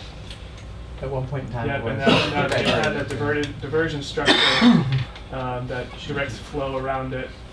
But you still have um, a portion of that pipeline, even if the flow is directed out, um, going under the building, and there is a connection there too. Um, and just having such a massive pipeline in close proximity to, to buildings and, and uh, significant populated area kind of raises co- some concerns if you're already talking about inflow problems and um, so that amongst other reasons was the big driver to get King Street investigated. Um, so for this task, we ended up looking at four different possibilities. Uh, one was just to rehabilitate the existing line and, and hope it stands the test of time. I know this was something that was already done in the 70s to the line, um, so kind of following up on what Dave said earlier, we, we don't know the condition of, of things now. Um, maybe the liner is holding up well and the pipe's in great condition and uh, it's not a problem, but it's something that would need to be investigated a little bit further. Um, then we looked at again another SSES study to, to remove inflow in the sub area, whether that would be, you know, building to building, look at elimination of illicit detection, uh, illicit, illicit de- uh, connections. Thank you. Got those words confused today. Uh, or other work drainage connections. And then the big, the big money projects, uh, looking at just completely redirecting the flow into a new sewer line along King Street or a new sewer line along State Street. And obviously, there's a lot of complexities associated with those. You have all these cross crossing streets that are currently tied into um, the King Street cross country sewer. Uh, the first thing we had to look at for either of those possibilities was are the grades favorable that either could happen? Can, can you connect the line to King Street? Can you connect it to State Street? And going street by street, we determined it, it is possible. You, you can start at the downstream sewer just uh, north of Main Street here and work your way back. And actually, better than minimum slopes, you could make the project work along King Street. And we did the same thing going along the red line back up State Street, and that would work as well. Um, some of the other concerns with the State Street line that I know we talked about in earlier meetings was I think when we initially thought about this, we said, well, King Street's really busy, it's got all this business on it, it's going to be a real disruption if a project were to happen along this road. Uh, maybe State Street's a better solution. It's a, you know, in my mind, not living here, it seemed like a less traveled road for my quick drive. But uh, talking to Ned and Jim, they, they assured me it's not necessarily the case.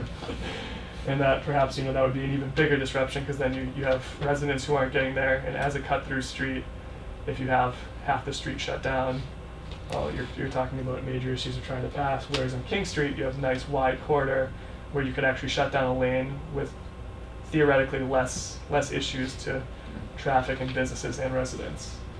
Um, so that was part of the reason why I think we favored King Street's solution over State Street from early on in this. Uh, once we kind of costed it out, it, it turned out that the State Street job would actually be longer runs and deeper, much deeper um, construction. Uh, so that, that drove the price up I think three million dollars more than the solution in King Street. Um, ultimately, I guess we decided this would be kind of a multifaceted project if, if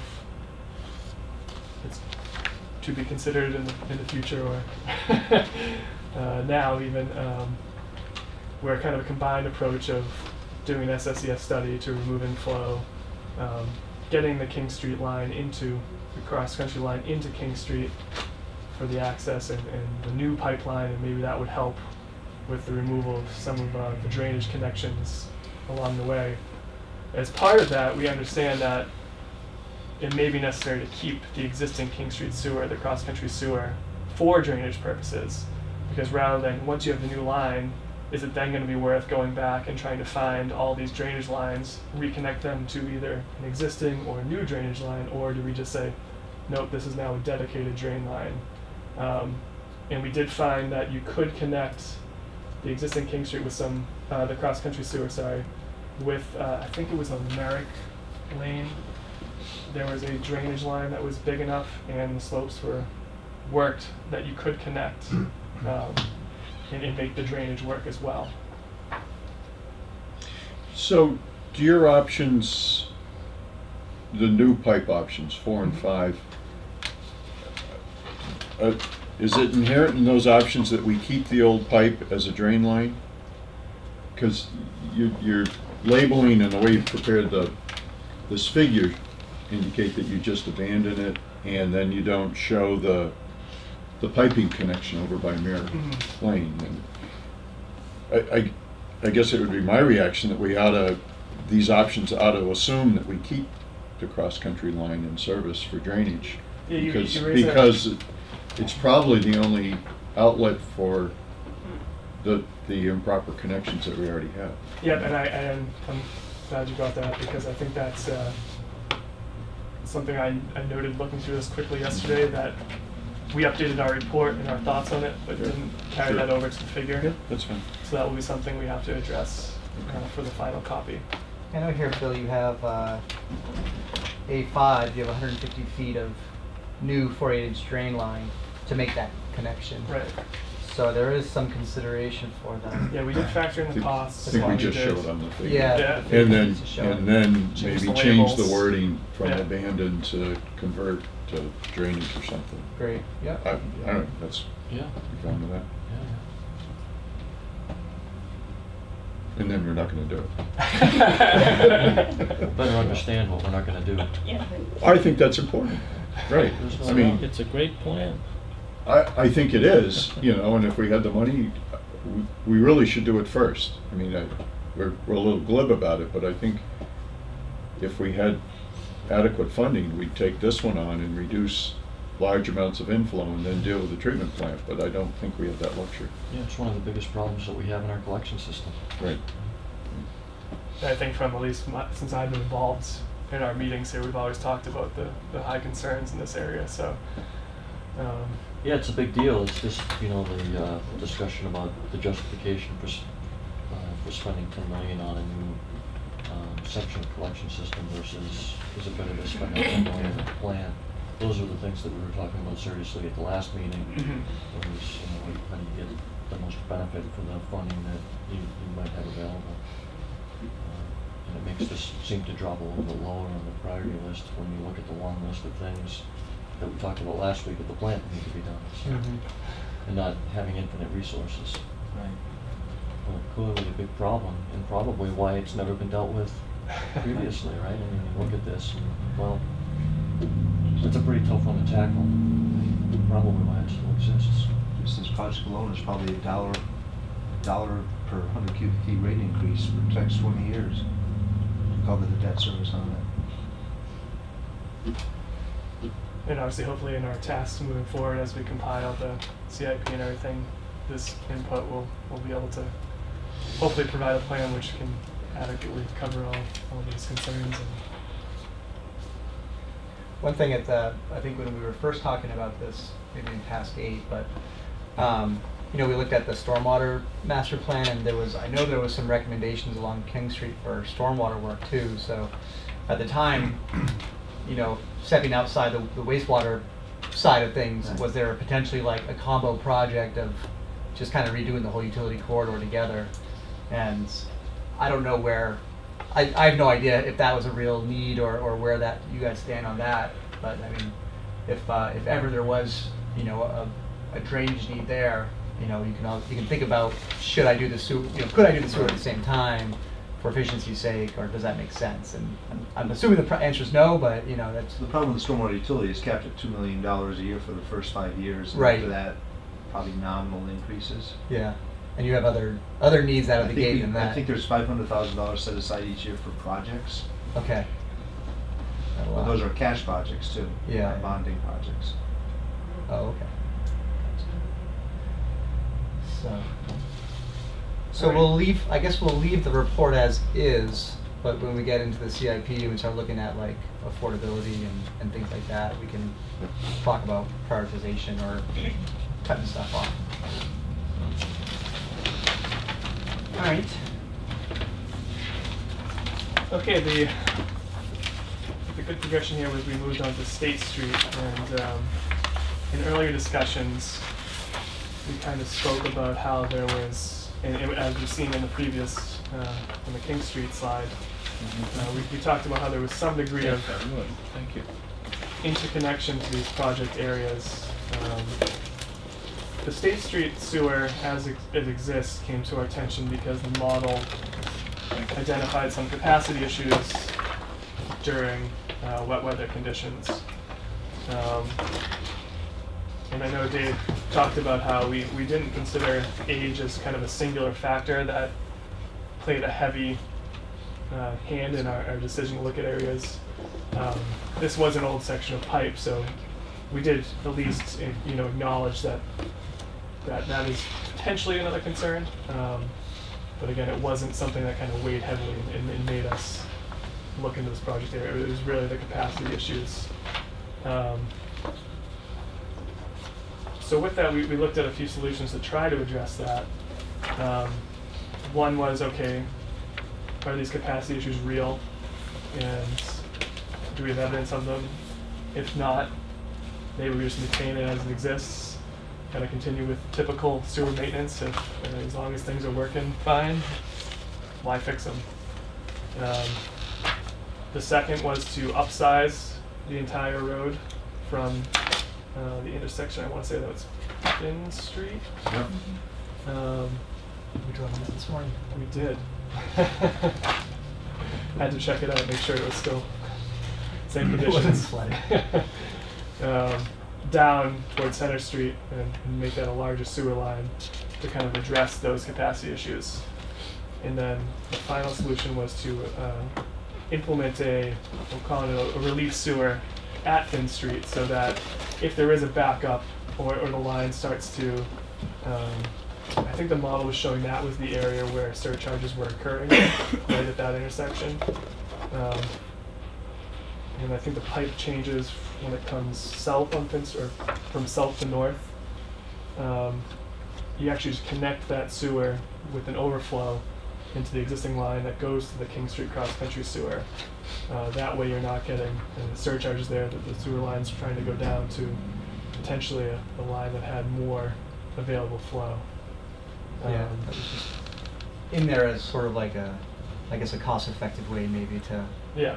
to maintain a, or manage a capacity issue that may or may not exist.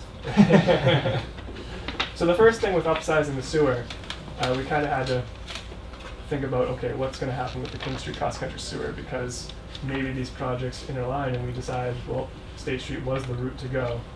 Um, so part of thought was let's hold off anyways and, and just see where that project goes. Um, but we did look at it in detail and, and came up with the costs for for that work. Um, ultimately, as kind of Dave alluded to, to some of these areas, we didn't have any evidence that um, the capacity issues shown by the model were actually a, a significant concern. And I think there was only a couple segments up towards Finn Street that were showing up in the model. Um, it wasn't, you know, as if the whole line was highlighted red and said this is overflowing. It, it was kind of a, a smaller area of concern. And, and based on that, without further evidence to suggest otherwise, we determined it, it seems like this line is, is working as it exists and that, you know, at this time, just maintain the sewer as it's existing. can Sorry, I afford know we wanted to spend, I I know you wanted to spend some more money on it, so. Lower priority. I like it. Fits into our CIP. Yeah. Make it high priority. Yeah, it's, it's actually the highest priority. This priority is the kind of dollar project we project. could do all the time. The kind of project we could do a lot. Right, We could do right. this all the time. Right. Dave and I were thinking we make it a high priority project. Yes. Nice, I would. nice. Great. We'll have another Chalk it meeting off. then. All right, so, Too bad we don't have a quorum, we could vote on this. everyone seems in agreement on that one, so let's move on. All right, so the next area we looked at was, uh, I'm calling Market Holly sewer area. Um, Again, this was another area that the model identified some issues of capacity concern. Uh, This was also an area where we did have, although uh, I'd say I'd call it minor data, um, we did have some sewer manhole inspection reports that were done as part of the earlier reports that showed corrosion within the, the manhole structures. So that brought about some concerns about H2S um, in this line. There was also, uh, this was also another high inflow location. So basically looked at addressing inflow, the capacity issues, and potential corrosion concerns. Uh, so the first option was uh, we'll rehabilitate the line and the sewer manholes. Um, the idea there being that you know nice rehabilitated sewer lines will give you more capacity just as the friction factor is reduced, and the rehabilitated manhole structures will now have a coating to protect itself from any potential H2S gas and a corrosion potential. The next was to replace the line uh, or upsize the existing sewer. Because I know how much everyone seems to be enjoying these long, big sewer projects. uh, this would start out on Market Street, just south of the work uh, you all just finished on North Street. Uh, we talked about that earlier, and I think initially when we first started looking at this, considered going further, but then uh, Ned and Jim informed us how the work on North Street was occurring and that no one's going near that for the, for the near future, hopefully. so this would, to, to do this though, the sewer line to make all the slopes work uh, would have to run basically from just south of North Street. Um, I, I don't remember the street there. Well, and that was my, it's Walnut Street, Walnut. and we ought to label it, because uh, the text talks about it, but. Okay.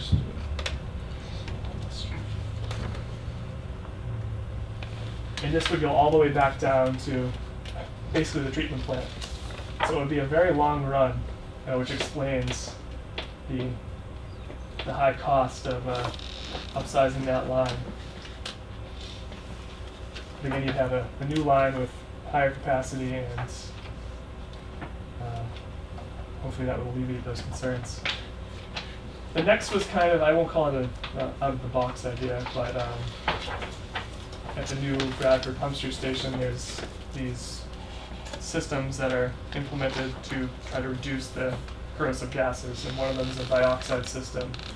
And the thought here being if you can treat the water at the station, uh, that eliminates the potential down the line to cause corrosion to your manhole structures or any other uh, cast iron or ferrous features along the line. I like to use the word suppress. Not, Suppress? Not eliminate. Yeah. Eliminate? I don't, don't want to be too certain, I guess, about anything, right? Suppress. Thank you, Dave. Yeah. Um, there were some concerns, I think, about okay, you're eliminating, or sorry, suppressing uh, the issues within the collection system, but there's the potential that I think later on the treatment plant, then you get a, a sudden spike of the H2S there instead of in the collection system.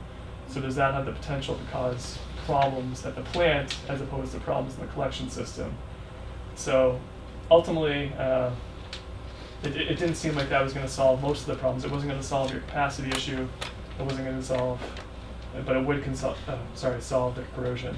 I think you have to look at the um, possible sources for corrosion in that I line. just gonna There's a lot of that, a lot of the flow in that line, is, it, it comes from the coke plant. So maybe with the pretreatment, So that with could the be. pretreatment, I think the, the effluent coming out of there is certainly a lot cleaner than it's been, you know, in Mhm. the previous forty years or whatever, it's been running down that line, so. Lot cleaner effluent coming through, probably a lot less corrosive, um, which is not to say that the existing, existing system's been impacted by that through the years and re- is probably a great idea. But concerns about the condition in the future probably are less than they, they might have been had Coke not, um, changed the way that they, you know, they treat their waste. I can't remember if that was in their report. I know uh, Dave Michelson had brought that up too Yeah. at some point about how maybe once the Coke Right. treatment plants on Plus- that business. Yeah.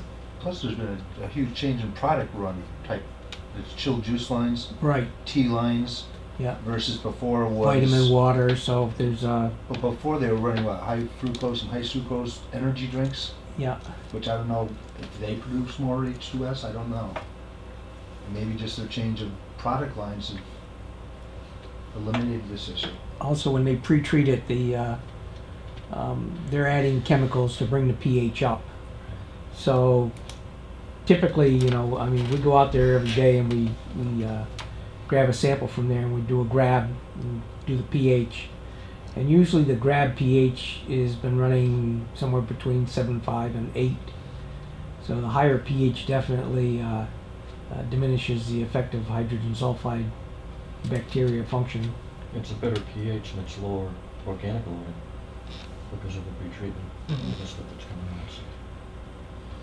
Theoretically, we, we like to think it'll be better. I'll double check and make sure that's mentioned. Uh, But do we already have an issue downstream where damage has been done that needs to be rehabilitated because of excessive H2S over the years? I'd say at this point, we have a, we have a hint of an issue, but Okay. we, d- we haven't done, like, I- you know, like I mentioned, you know, exhaustive, uh, you know, condition assessment of it. If the city has tapes of this corridor, then, you know, I think if, if we can get a copy, we'd happy, we'd take a look at it, and that would maybe give us more evidence or less evidence to support this one way or another. Um, I know I haven't asked for that previously, but I think, I think we're probably at the right juncture where maybe we should. Um, and if we don't, then maybe that's something on the to-do list, you know, to kind of take a look at this and see what sort of condition these sewers are in. Um, If I recall right, when we were doing some II work back in the early 2000s down there, there was sediment deposits in the bottom of the 24-inch brick line that took up a good quarter of the capacity of the pipeline.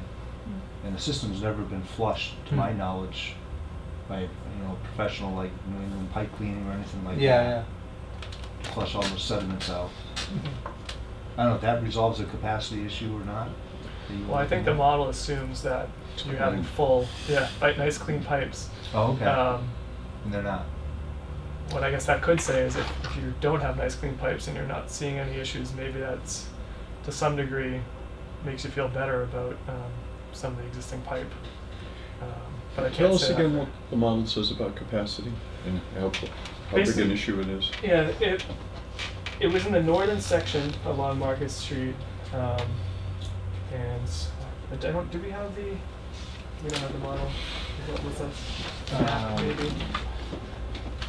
It showed a, a series of segments. Off the top of my head, I'm trying to remember. Um, that were showing during. I think it was.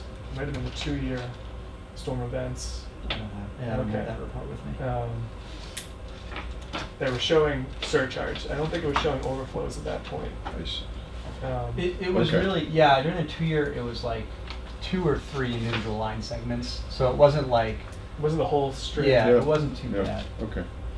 I know Eastern Ave, that stretch of Eastern Ave, that popped up. This, this is gonna Yeah. fall on the priority list anyway, so Yeah. it just, uh, consequence doesn't sound too severe. I think there was a couple on the south side of the city or Market Street and that Eastern Ave. Yeah, That's a okay. pretty flat section of the, the pipeline. Uh, that's part of the reason there. Hmm. Um,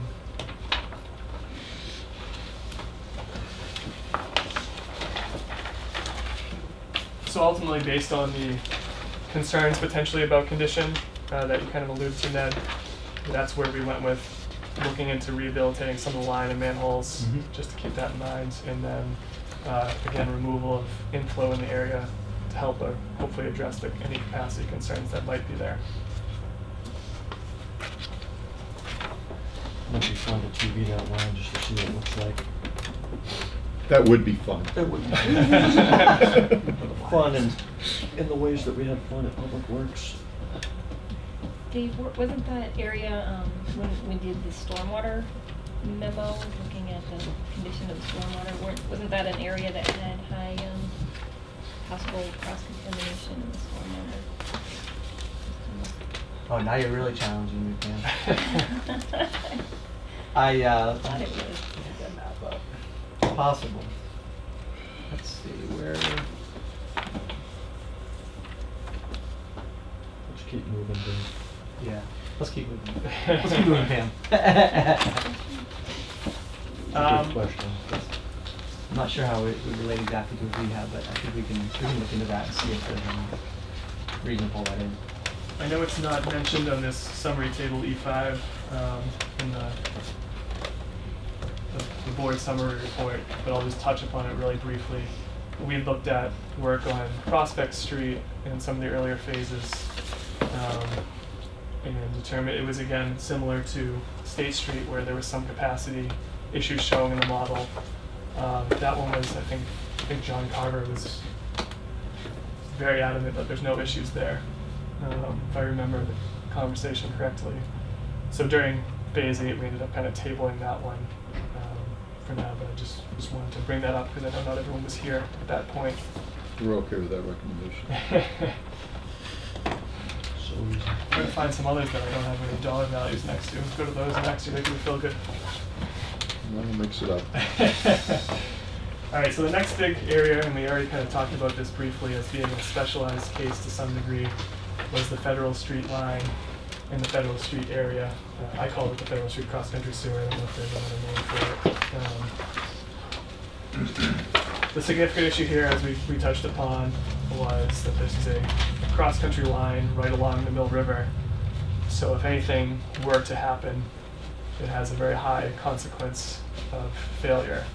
Um, particularly if that wall were to fail there and the whole sewer would be swept away, then you have a very nice uh, Mess. river full of sewage. I showed a wall on this plan to show where that, Oh, I feel like the risk, okay. Yeah. where the Because it's, because it's up at the further west, right? It's like right- Right, Yeah, right that's in right, there. that stretch right there. And what about the other section where, down near, You here? yeah. Sorry, it's green. uh, Is isn't the river kind of uh, doesn't the grade kind of flatten out a little? bit Yes. Around there. It's the backup There's, from the there's dam. no wall that I recall down there, there might be stone up against the bank for erosion protection, but there's no formal wall there that I'm aware of. Yeah. but it's really close. It's, it is. It looks really close. of that based on this path. So part of the um, initial assessment also showed that there were some, again, capacity issues um, more on the actual Federal Street portion of the line, north of the uh, cross-country portion. Um, That, we determined after task eight that that wasn't uh, too large of a concern, and and that really left the two options of- of maintaining the sewer as it was and completing some inflow removal in the, the, the kind of the sub area. I don't know if it's possible, Bill, to put the, these sub-areas for inflow concerns on these plans. To show the Yeah, just to show the area. that- outline? Yeah, yeah. All right. I That think we might be helpful just to see on, on the, um, on the projects that we've identified, that that might be a useful part of the I know, I know we have those already built based on some of the earlier Yeah. figures in the earlier sections, Yeah. so that should be easy enough Yeah, to do. if you could throw them on there, that'd good. Absolutely. Bless you. Just so the board knows, I, I believe that line was installed in the late seventies, early eighties. Yep. And it's, it's an AC pipe if I remember correctly. I think it's thirty inch diameter. 30 or 24, 30, 36. it's, it's a bigger big- pipe. It's a big pipe. Yeah. So you're getting a lot of flow through there, which amplifies any issues if something were to happen. Um, unfortunately, maintaining existing sewer somehow is a cost next to it. So uh, the issue there was we decided that in 20 years, I, I think we talked about in some of the past meetings that some work had been done to that retaining wall recently. Um, for planning We had- purposes, Yeah, we had it repointed basically. Mhm. My understanding is that of recent walks down there, some of the capstones are starting to move out to the river again. Okay. Yeah, so for the planning purposes of maintaining the line as is, we included a cost and we talked to one of our structural guys uh, in the office for a full replacement of the wall. So that that's where that bigger number comes from. Mhm. Because if that's the significant concern, worst case, you just have to keep making repairs. Or sorry, worst case, you have to fully replace, but the optimistic case is maybe you can continue to get by with fixes. And we might be able to make a case to uh, FEMA for another grant like we did for River Road replacement, protecting Williamsburg's interceptor line, their sewer line out there.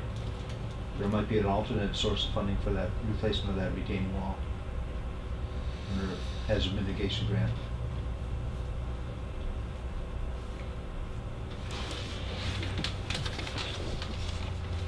So our feeling was if, uh, you know, maintaining and, and as with many of the other areas, looking into the inflow removal, that this could be, you know, maintained in place. So any other further concerns with that, or? All right. Did you, um, did you point out that that, this same project exists in the stormwater master plan too? I didn't. Okay. So it lives in two places right now, so I don't know, I mean, I think we'll just keep it here because we've identified it as a concern for sewer, but your stormwater has it identified as a concern for probably erosion and things like that, so. Just so you know, it's, it's presently in two parallel reports. Um, so when you get to the point of trying to think about things together, you know, that'll become self-evident, I guess, but. There it is. Jim, is it this wall similar to the project we're looking at up by the Musante Beach? It's actually probably most similar to the River Road retaining wall that we're looking at. It's an old stone retaining wall. Four hundred, it's four hundred plus feet long, This one? this one. But the Is price is similar to, River Road, which is about a thousand feet long. or Nine- Musante Beach. which Three hundred and is- fifty feet, Yeah. is any beach? Yeah, yeah, it's about the same length. About the same. Musante, Yes, yes. Okay. Yep, correct on that account.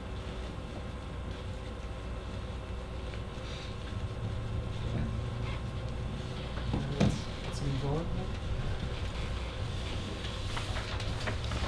So the next project area we looked at um, was a review of Laurel Park, and I guess to go back in time a bit, early phases of the CWMP took a look at different needs areas throughout the city um, and tried to identify locations where sewer extensions may be necessary or where uh, just general underserved locations.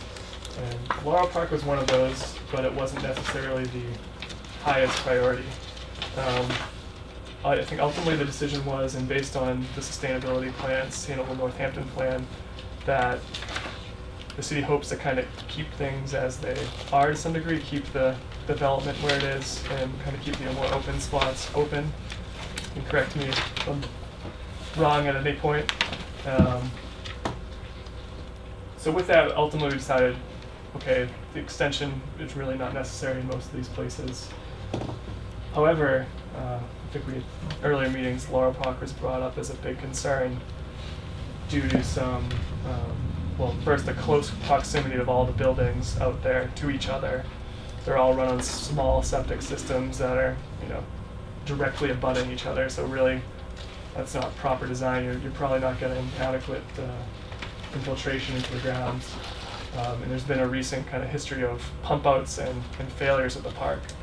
So the city's concern, as we understood it, was that is this going to be a problem at some point that maybe the city has to help with, uh, whether it was through betterments or, or other activities. And you got a kind of similar project on Coles Meadow or somewhere nearby. Um, Marion Street, there's Marion? Betterment on, okay. I knew it's was- just above Laurel Lane. So, I recall that the s- city had a study done uh, quite a while ago on um, community septic systems at Laurel Park. Back when I was on the Board of Health in the, like the eighties, early nineties. That, that looked at this issue to Mhm. see if there was a way that, that systems could be grouped together within the park to. It was definitely a Board of Health document. The other thing I don't. I think it was, excuse me, Nick. It's okay, sir. I think it was Dufresne Henry maybe. What I don't recall is how far the zone two for the um, Hatfield well source goes up into this area. I know further down on North, North King Street, there's definitely in their aquifer for the water supply. So I don't know if that's a pressing need with all these septic systems, if it's in their zone two or not. So the, the issue of this, uh, I wasn't aware of this report, it might make sense to try to track it down through the Mhm. Board of Health. We talked to the Board of Health about getting information about failed systems. And we had, we had identified this as a, as an area um, of concern, but uh, we ended up, in a call that we had with Kleinfelder, we, we ended up um, moving forward with sort of the do-nothing approach because the project's are extremely expensive and there's no immediate reason why the city should be spending five or s- four, five, six million dollars trying to solve a problem. Um, in that, you know, it might be a community system that they would need to look at themselves, um, to solve that problem within Laurel Park without the city, you know, jumping to the head of the class on a, on a four million dollar job to extend the sewer. Um, So that was one of the reasons we just felt like it was a lower priority.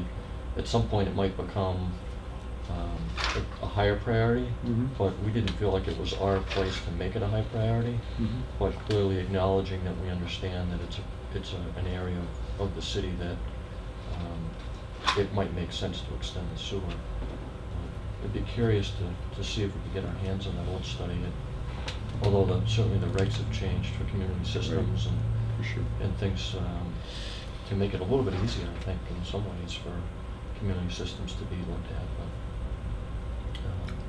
but, um, I- I- My recollection is it, it- it was difficult to find enough new space to fit everything in because it's so densely developed. But I recall that there was a plan that if, if people got together, they could make it work. Yeah, so based on what Jim was saying, we, we did look at different alternatives for what could be done there. We Mhm. didn't dig into tremendous depth on how all the designs could be done or. Well, you it's know. a, it's a private Yeah, exactly. Right, So we don't- wanted to at least have an idea and present an idea of what options, should it become an issue, Yeah, are potentially available. yeah.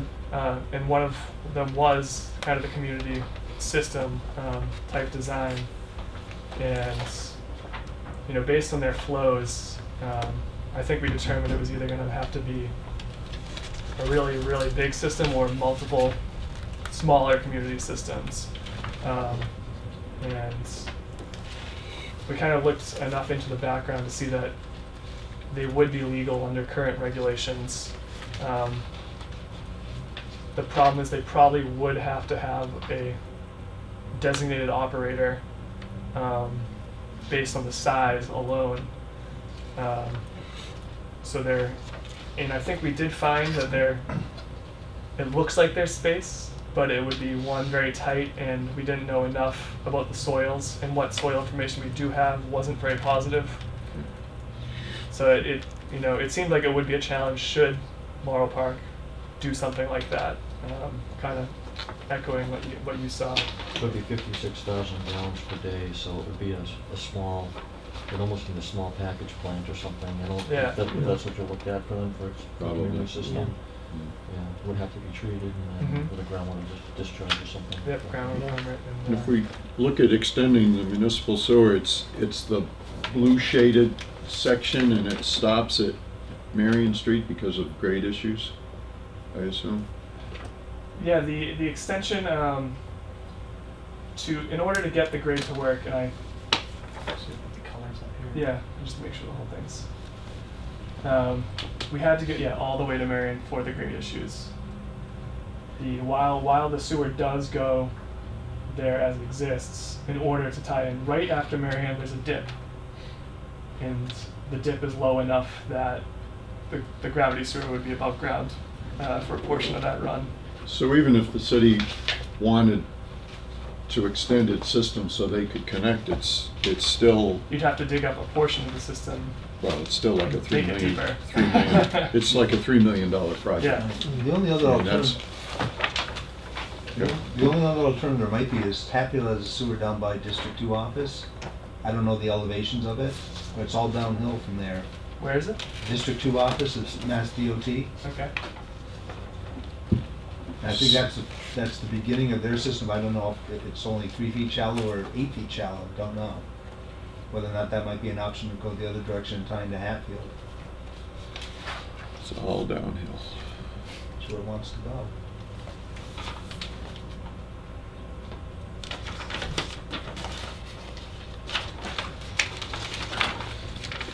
Um, the other two options shown the highlighted in the, the black there, uh, represent either low, low pressure or traditional pump stations to, to get through that dip area right into the um, existing sewer. Um, so these along with, you know, Ned's suggestion for possible other solution could be what happens at Laurel Park should they need to do something in the future. But as we already said, this is not something you want to just jump into and take a lead on if there's no reason to. There's no current regulatory driver that's saying, Laurel Park, you need to do this. Um, you It's should. not a regulatory driver that applies to us. yeah. Well, I think that's the important Yeah. consideration. We deal with public facilities. Yeah. Will it ever apply? Probably not, maybe, or who knows? Who knows? It depends. Really, until something happens that makes you need to get involved, why get involved? Ned, we'll add, we'll add um, a paragraph in there about the Hatfield option. I, I think it's worth at least stating it as an option. We won't do much more than just state it, but we'll add it in there. It Okay. makes sense. They include that in the section with the gravity system potentially. Y- Yeah, right, yep. Mm-hmm. Yeah, it's just on the road from Allen Road there where that terminal manhole is.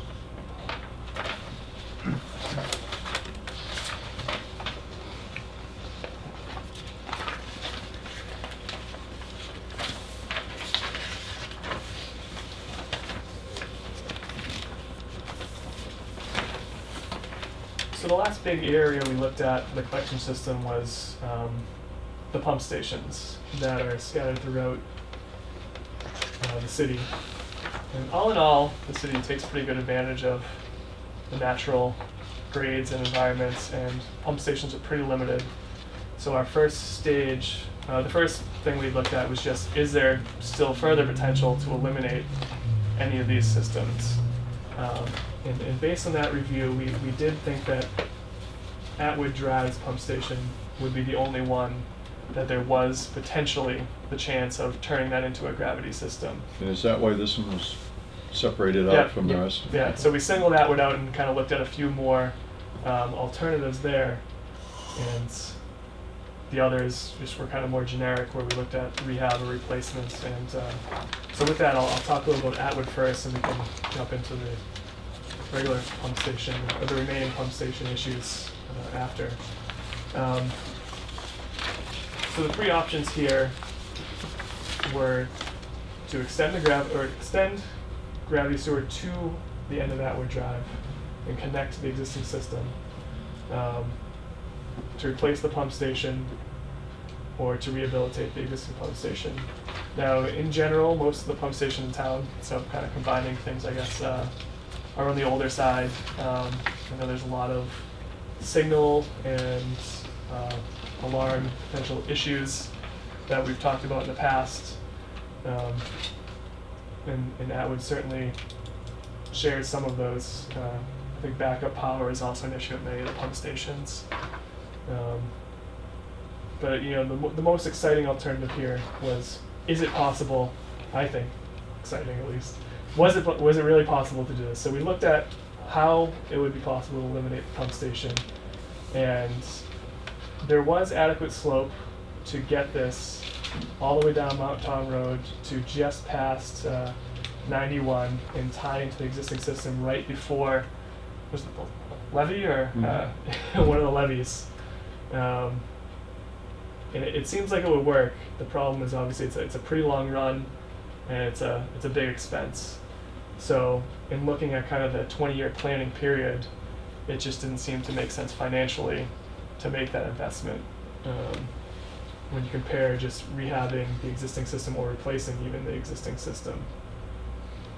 Um, Do we, does anyone in this room know whether or not with the build out or that would drive, are we gonna be required to upgrade that pump station to a larger capacity in the future? We did look at that as part of this, and we got um, the environmental impact reports, I think, for the developments that we know of at least. I think that included everything that's going in The there new now. hotel, the new restaurant. The new hotel, the new restaurant. And all the medical facilities? Yes, so we did look at that, and based on those flows, its current rating should be fine. Okay. Yeah, Um, David lot of us about that. Yeah, and he gave us he gave okay. us those details. Yep. Okay. Because yeah, he brought up that concern before we even kind of were, were looking into this in depth. So that was the first thing we did, just to make sure you didn't need to build a bigger station to begin with. Um, that said, the station is um, on the older end, um, and for all the pump stations in general, I know John brought up how he wasn't a fan of the kind of the can structures. We have the two, uh, the wet well, dry well separated. Um, they're really tight for access uh, and hard to work in for, for the uh, maintenance guys. Uh, this is one of them, and you know, based on the age and the conditions, uh, we were recommending to go with the replacement of, of that wood station. They're definitely hazardous to work in, especially if you have to remove a motor or a pump out of there. Um, obviously, somebody has to be down inside the, the, the wet well, I mean the dry side, Yeah, to hook everything up, and then they have to sort of squeeze off to the side in case something happens, and whatever you're trying to lift out doesn't make it. And uh, from a maintenance standpoint, it's it's pretty much uh, you're sort of stuck into a small box and, and trying to trying to work where where it makes things difficult. that's, that's exactly what John had said. Yeah. um, When we talked in the past, and that kind of transitions right into the other pump stations. I don't want to just jump away from this. But in general, and looking at the, the pump stations, whether the choice was to rehab or replace, um, all the can structures tend to be the older ones, um, which have really started to get towards their intended life already. Uh, so that was where we kind of drew the line between replacement and rehab. Uh, the newer, more the submersible type stations were on the newer end and, and seemed to be more favored in, in talking with John in the past. So we, we thought those stations you could get away with doing the just the upgrades to the equipment or the uh, the alarms and signals and, and that type of thing and still have adequate service for the next 20, 25 years of the, of the planning cycle. Whereas on the older can stations, we, we thought that they're already towards the end of their life. Uh, it, it's time to kind of go with the replacement. This So the board also knows, this, this pump station does not have a backup power system to it. And that was an issue at a should be done in any It should be done at all our pumps, there's two Right. pump stations that don't have backup power right now. What's the other one? William Street. And I know the, the prices out here on the, if you're looking back into the, uh, the pump station side. When we look at the unit prices, I think we, we had kind of taken generic from, from previous pump work or pump station work, uh, kind of tried to estimate for, for certain flow ranges what you might expect for whether it's rehab or replacement. And you may notice the budgetary cost shown here is significantly higher than those unit prices. Um, the reason for that is we also determined that if you, especially if you're replacing the pump station, it's probably time to at least look at the force main and see what the condition there might be at the same time. Uh, so the, the budgetary costs that were carried through include replacement of the entire force main length. So just for the Island Road pump station, it was a pretty small pump station, but we're carrying a big cost for it. And the reason for that is it has a very long force main. So an area where you could you maybe break, break these projects down further is we look at the force main, is the force main fine? Don't worry about the force main for now. Or, you know, maybe the force main's terrible and you do need to jump into all this. We wanted to carry kind of the conservative cost that assumes everything needs to be addressed. But there may be some room where, where those costs go down. But I just don't want those to be a shocker when you know look at them in detail. But that's the reason for it.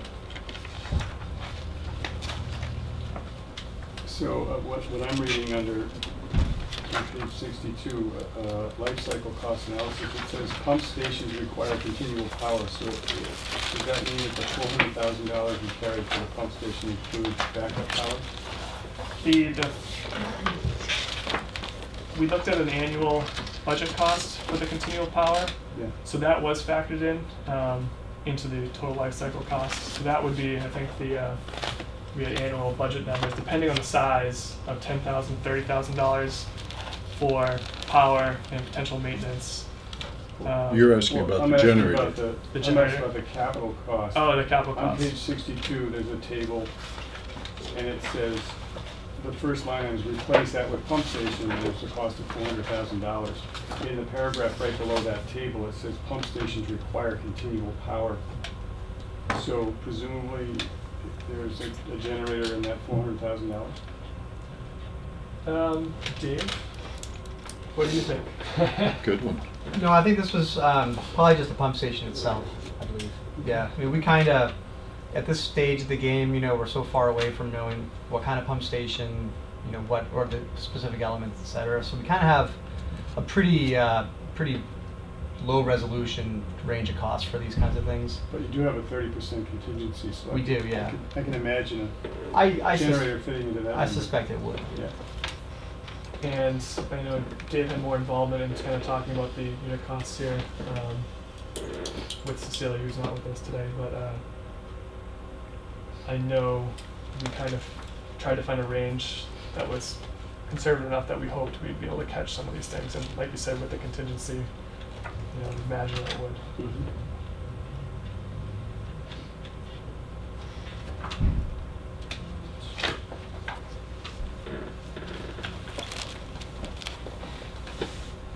So that uh, covers the main points I wanted to hit on the pump stations.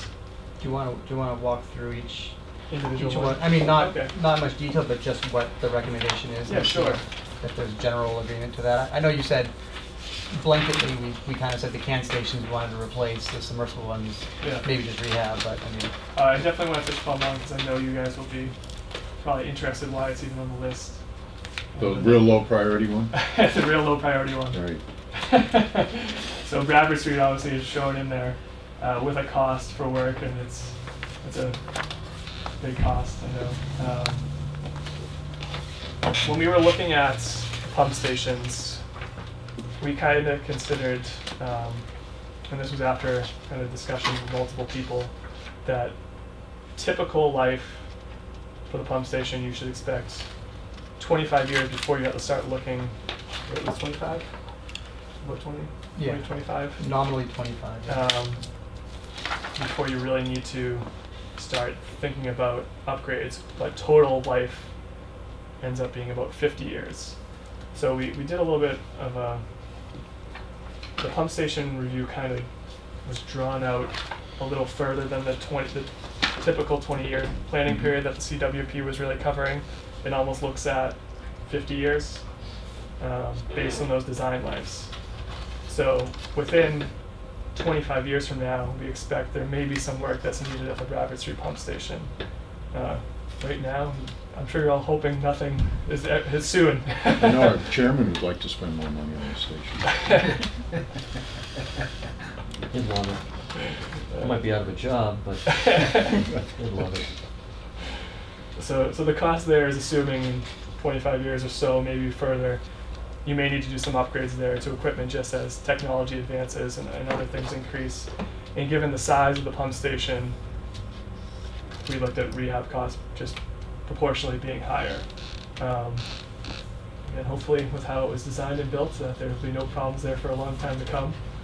But we, we didn't want to just completely put it aside and, and forget about it. Um, Burt's, Burt's Pit Road pump station, we're recommending replacement. Um, it's about a, you know, in the 200 gallon per minute range, so it's a smaller station. Um, it's about, again, I think can structure uh, on, the, on the older side. I think all these cans were put in maybe 60s or 60s and 70s. Yeah. Nineteen seventy-seven, according to the. 77? Sixty-six. Let me pull that that table. one up, yeah. I'll pull that table up for reference. It looks like, according to this table, the oldest one is that Atwood Drive, and it's nineteen sixty-seven. Okay. Yeah, and the two submersibles were late eighties. Page sixty-six. Thank you. So Island Road was a, another 200, 280 gallon per minute. Um, we left it out. No, I just sometimes jump through there. Okay. and- So there's another flooded suction can structure, um, 1978, that we cited rehab, or sorry, replacement for. Um, and that had one of the, as I mentioned before, long, long force mains, nearly a mile, 4,400 feet, give or take. Uh, the leachate station, just a smaller station. It's got the more up-to-date submersible style. So it seems like rehabilitation will be adequate there. While we're on that, is, do we perceive, we need that indefinitely? I hope. You hope not? Are there any facilities in the storage building? No toilet facilities? No, they disconnected all No. that. Okay, We're hoping that uh, eventually we won't need that pump station. okay. All right. So hopefully the need Well, that'll be to eliminate available. it will come before the need to do spending money on it. We want to monitor the reduction in those leachate flows, and Yeah. eventually we might, uh, we might just go to a tight tank type of thing, Mhm. depending on what the flows are, because we have that, it's the pump station and the cost to run it and maintaining the force main and the whole deal that takes a lot of time and money to do. And so eventually, sooner than later, we'd like to mothball it if the flows, if we see reduction in flows that allow us to do that. Sure. So with that, would you want us to give a, just a, throw a paragraph in or something describing that potential in the future? Or Um, leave it as it is for now? I or- think it'd be helpful. Sure. Just, Landfill's cap, I was planning to- sure, just to remind, Yep. remind people that Landfill's cap, when we say reduction in leachate flows and. and that maybe Okay.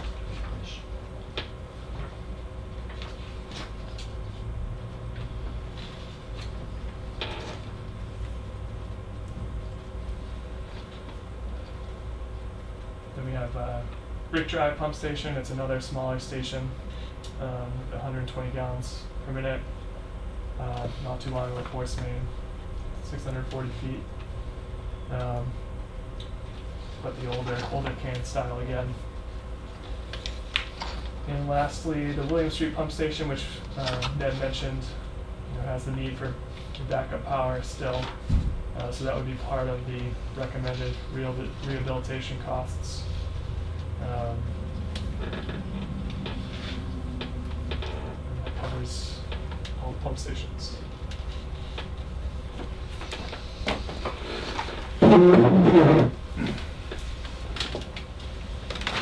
Any further thoughts on that or questions? No thoughts, I mean, just that when we do the- the CIP, obviously prioritizing a replacement schedule for which ones in which year would be something that we'll need to wrestle with. Um, What's in the worst condition, Okay. what what would the general approach be? I know during this review, I, since we kind of broke out Atwood, we took a lot of time looking at the site reports there. But did we have reports for all the other stations too? Mhm. I I didn't dig into those uh, nearly as much, so Yeah. no, that's we, we do have some information we can scan through and then talk to you as needed.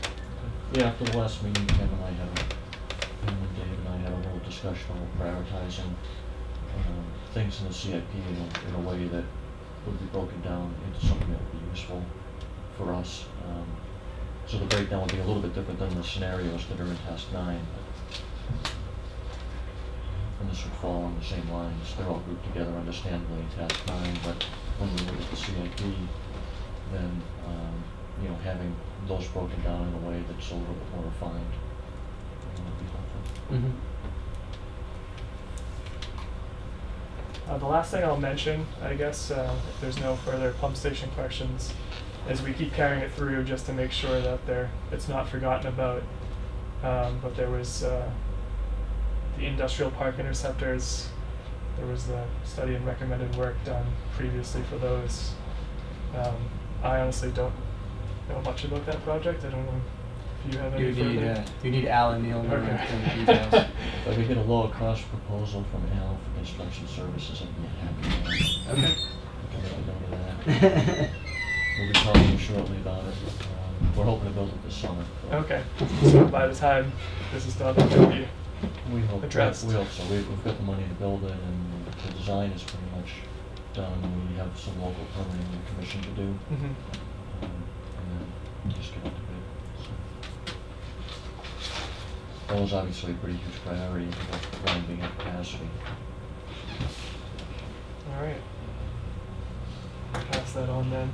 Yeah, we'll go that. Uh, so that really covers uh, the collection system portion.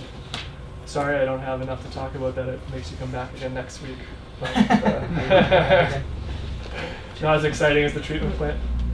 Pam, Pam did a good job for that, I guess. Uh, but any other questions or comments just in general? Uh, Your job is so easy compared to Pam's. I know. I just get to lean back and relax. And Everything's 45 minutes to downhill. spare. exactly. I just had one question on that, replacing the Flygt pumps with axial flows, which are supposedly more efficient. hmm How, mu- how much, what, what dollars are, might be involved there in terms of the savings, the In terms of efficiency? the life cycle. Um, phew, Well, pr- I was thinking of today's electricity cost primarily. let's see. What did we That's have in factored in. horsepower? I think jump to that section to be honest with you. Jim Dostal always used to do this in the board meetings, with questions about pump efficiencies and things, and the size and everything, I'd be like, "Oh, Jesus." Don't ask me that. Sure, I have it all memorized, no problem. Plus, I anticipated your question. Right, right. Yeah, what it does, it takes a local neighborhood here, that to me. So it doesn't take a lot of. I'm pretty sure we have horsepower identified Rule number here, one. and life cycle If you don't know the answer, just say it. Well, just, just the percentage figure. It's safe bet. Oh. Comes with experience. Yeah, it's a lot easier just to say, I don't know. no idea. not a clue. when I was uh, doing my capstone project in undergrad, we had to give a, we went to this competition and had to give a presentation. And you know, college you give presentations to your class and questions aren't too intense, you don't think about it. But this was all professionals that were going to be asking us, and the, the number one thing they told us going into was, if you don't know, just say you don't know, because they're going to eat you alive if you start trying to ramble off fake answers and. So it's always stuck with me. no longer pretend. yeah, it's no longer pretend. That was real, but a valuable lesson nonetheless. Pam, which one is the uh, submersibles that was up here? I, we're not going to be able to parse out what's electrical versus what's maintenance. I think for in terms of O and M and overhead, I think we probably just had like a single line item here. Um, but I can tell you by horsepowers. So let's see.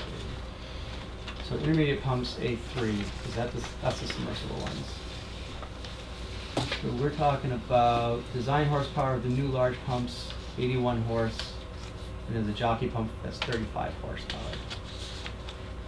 And if I go down to the uh,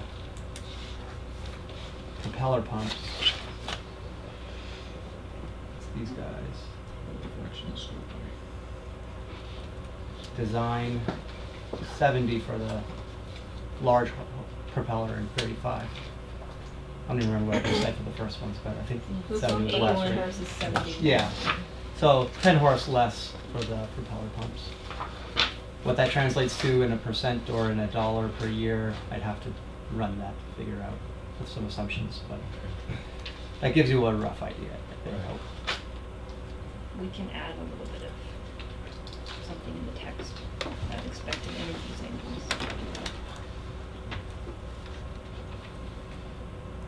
And just jump to the life cycle costs. Oh, here we go, eighteen thousand a year for annual power costs. I'm gonna go back up. That's for Axial. Axial, 18,000 for Axial. Uh, went too far.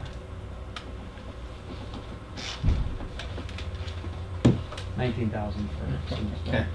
The same. Take that to the bank, can't you? A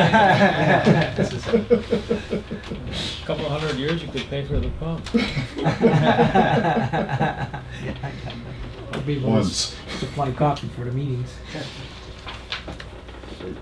I mean, I think if I remember right from last week, you kind of said that these costs were kind of close enough that we could keep both technologies on the table, I think,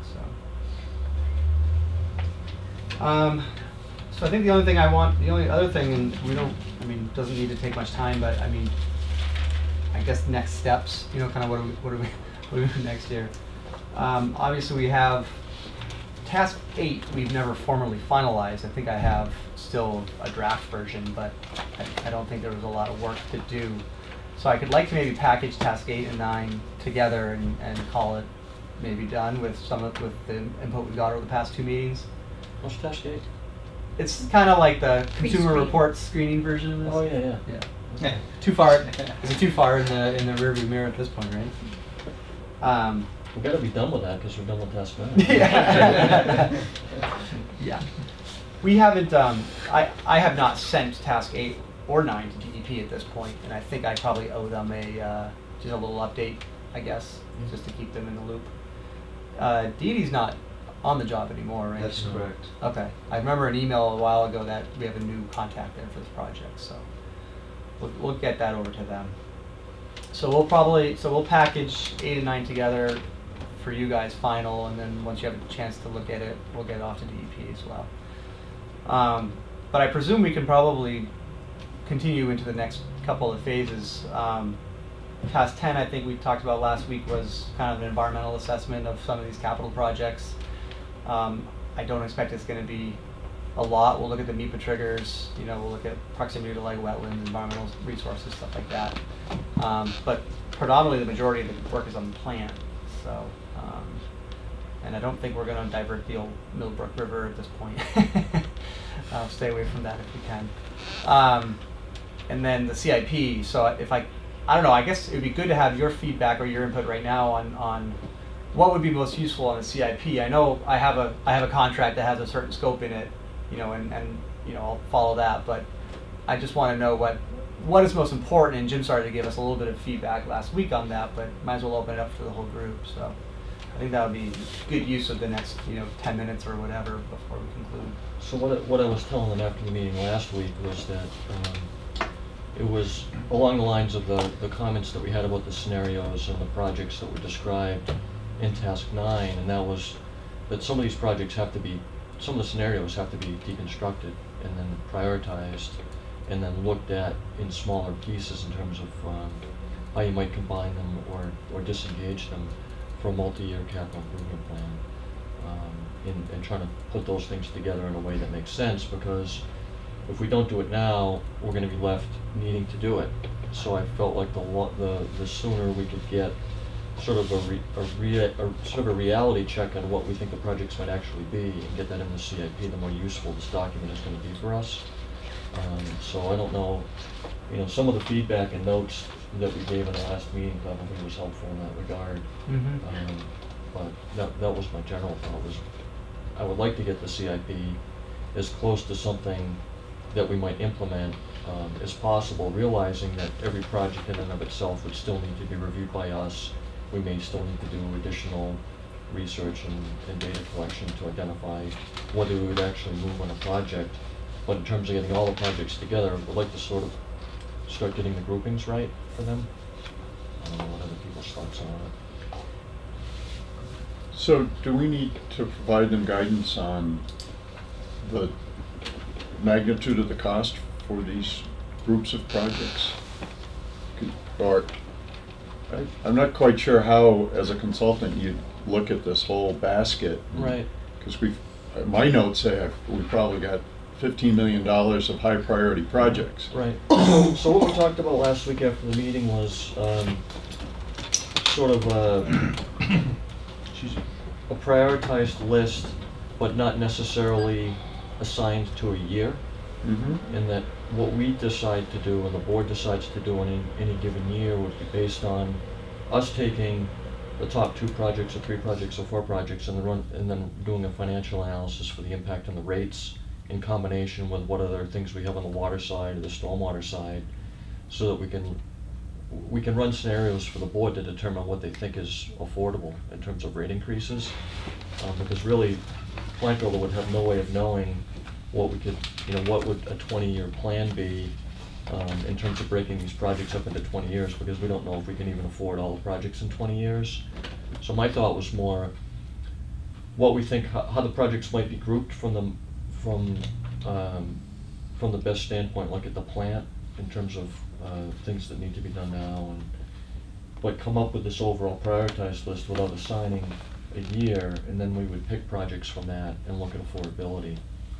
And then develop our own internal capital improvement plan in conjunction with the other utility, um, projects that we have. So they'd be pricing the projects along the, the lines of the way they've already broken apart?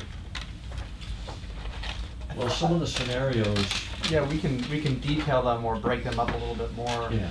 I think, because we talked about that last week on the plan especially, there was a few cases where we could easily do that and it would allow you to shuffle things around or, or reprioritize. I think the devil's gonna be in the details on this one, because it, right, I mean, I'd like to get a little bit closer than what we have, because I can already see the mm. difficulties in, in, in trying to parse the information out. You know, for us to do it, if, if I can't, I feel like I need Kleinfelder's help to get a Mhm. better, more detailed CIP, because otherwise I'll be left with this, which is great information, but then I- I'm gonna need to break it down. And having their expertise and Jim's, you know, information about the plant and those things really all need to be combined to get us a little bit closer to what, um, what the actual plan might be. So I think we need to take the benefit of their expertise at this point try to do well, I, I agree with that. I'm, I'm just wondering if we'll, s- we'll still have a high priority solids dewatering project and a high priority high flow project. and It, it'd still be broken in, into those kinds of pieces as opposed to project one, project two, and project three. I mean, which may be pieces from a bunch of these, Right, you know, I don't, right. Because so there are pieces, there were pieces we were seeing from the last meeting from different scenarios, like the Mhm. headworks and the gravity thickening, or whatever, you were talking about that today, right? There might be some of these different areas of the plant that you might wanna do in conjunction with another, one another, but in the scenarios, they're not, because you went from the headworks to the primary to the secondary disinfection, that sort of thing. And then you talk about, you know, we had chlorination and, eh, I don't know, there was just so many different things. Um, and some of them, you know, we would like to have done immediately and figuring out what, what could actually be affordable. There were quite a number of things that we said, oh yeah, boy, we better do that. We need to do that right now, but if you take If you add 'em three or up. four, yeah, right, yeah, you take four or five of those and all of a sudden you're at ten million bucks. that's right. You know, we're not gonna do that in year one. Um, So, uh, I guess to me, trying to break them up into smaller bits and then figuring out how we might be able to combine them or afford them, That's where I was headed. Small, small, small bits. small bits that we don't ask them to try to group. We won't group, we'll take them apart, you guys can group them. I think it would be good to make sure that you know which projects really should be connected though too, mm-hmm. because I know like with the fine screen was one of them that might be in a completely different area of the plant that's gonna affect the equipment further down in the process. Yeah. You don't wanna go replacing the equi- that equipment and then have the fine screen not in place to catch some of the stuff that would not, like, Right. it would hurt the life of the, the Mhm. equipment, so it'd be good to at least have an asterisk saying, well, if we do this, we really should include this on the, this, this project. Yeah, potential linkages, right, between, Exactly. between the small bits, how they could be combined Mm. or not. Um, Yeah, the small, you know, it's like the smaller thing. I get three dollars in my pocket. Can I get a coffee and a donut today, or can I just get a large coffee and a half a donut and a small coffee and two donuts? Figure it out. No coffee and a dozen donuts. Yeah. Mm. Glass of water. Water, I get three cents, I Water get a and gallon of save water. the three dollars for the bigger project. Um, a question, I guess a, a kind of a, a question as part of prioritization. Is it fair for us to assume prioritizing projects of the plant in such a way that we're, we're assuming no work being done on inflow in the collection system, even though it, in reality, you know, I, I'm assuming we are gonna go ahead with some SSES work and potentially some inflow removal work. But I mean, I don't necessarily wanna, you know, guess a number of how long it's gonna take to do SSES work and inflow removal, because we just don't know what, what's gonna come out of the SSES. You know what I mean? So, I just, I can, I guess maybe we can put that out there as like Oh, an assumption up front that says, you know, the priority for work at the plant is done kind of with the knowledge or with the assumption that there's no inflow reduction as of today.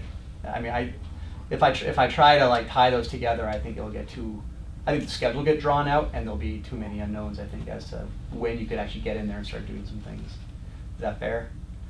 Well, I think some of the SSES work is recommended to be done, mm-hmm. it, it, we were talking about some of it today. Um, those are relatively low-cost items that we would probably, I, I would think we would move on some of that, because there are benefits not only to the collection system, but benefits to the plant. Yep. But then the other thing we talked about was just trying to come up with a flow metering program to try to. Yeah, right. Better, better nail that thirty-five million, and maybe that's not a capital, that's not even a capital improvement plan type of thing, it's more, um, of an addendum to the CWRP, which is Mhm. looking at more metering, trying to refine what the peak number is, Mhm. peak flow. But that may be more of a detail, uh, than anything. I guess the SSES, I, I could with some confidence lay out like an SCS schedule, but what I wouldn't have a lot of confidence in is, is what's gonna come out of that and how long it's gonna take to tackle the, what comes out of that. I- Particularly with inflow, because, you know, inflow takes, it takes political will and, and, and somebody who's really committed to it and, you know, willing to, you know, not play nice with the, with the residents to some degree and stuff like that, so it's. Well, never worked for us, we always play. It, it seems to me that the high priority projects have to be completely independent of inflow removal. Yeah. That, that we need to advance those, and there's no chance that we'll do any inflow removal before those are implemented. Yeah. So I Yeah, think then those are based on Yeah. the, the, the model. Okay. I'd And like to then make that, yeah. Into the program, No, I we'll, think we'll I- have the benefit of inflow reduction, but not at the beginning. And that number might be, you know, ultimately you'll need to decide what that peak flow is gonna be, and that goes a little bit hand in hand. We don't really know what the inflow reduction would- would be until it gets done. Right. I, I think doing that metering addendum you were talking about, I think that would get us at least feel a little bit better about the thirty-five anyways, or, or something other than thirty-five. Yeah, we need to do mm-hmm. that. A number of these high priority projects aren't related to flow anyway. Yes, yep, yep, exactly. Okay, no, that, that helps. I think that would untie some potential knots there for prioritizing things. Um, All right, no, I think that, As far as the collection system, is there a more higher priority on the pump station work than some of the gravity system work? I realize Barrett Street, you really, your hands are tied until you know whether or not you can take care of the II issue. And how do you lay a, a five or ten-year capital plan without knowing what has to be done? mhm. Um, You have, you know the pump stations are kind of at their end of their useful There- life. there- and- There's a concrete idea Right. of what's going on. Yeah. And I- need them. I mean, I think with the pump stations, certainly I'll have to go back to my notes to see if I can come up with a prioritization within them themselves. But I think it's one of those things where it's a good idea to just sort of, you know, plan to do one over like a period, you know, like one every two years or something like that. Whatever seems like a reasonable implementation schedule in terms of what your other costs are and stuff like that. But um, I think it's just kind of at that time where we should just be kind of cycling them out. Yeah, I mean, if you can prioritize the pump stations wi- within themselves, then we can figure out what year we Yeah, can do them and right. combine them with other projects and figure Yeah. out what we can afford. I don't see any collection work, sorry, Bill. That's okay. Sorry, Bill, but, you know. Nice job. No ignore it. Yeah. The other issue on pump stations are the two without standby power. There's- I mean, you can do standby power separately from Mhm. the rest of the upgrade.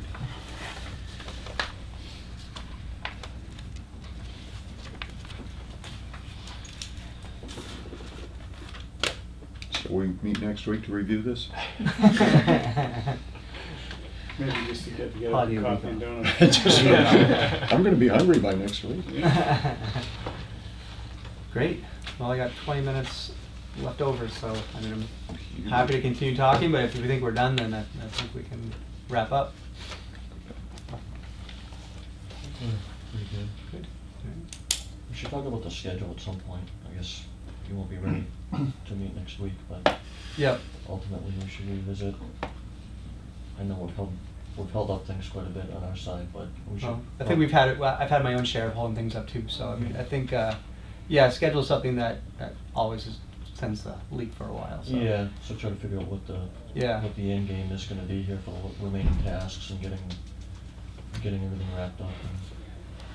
Well, how about like, what makes sense for the next time this group gets together? Like, what what juncture of the next phase would it be? Once we kind of have our priority, you know, recommendations, I guess. Once we've and then so be kind of at towards the, you know, the draft deliverable of the CIP. What do you think? I think Yeah, that I think makes so. sense. I do too. Okay.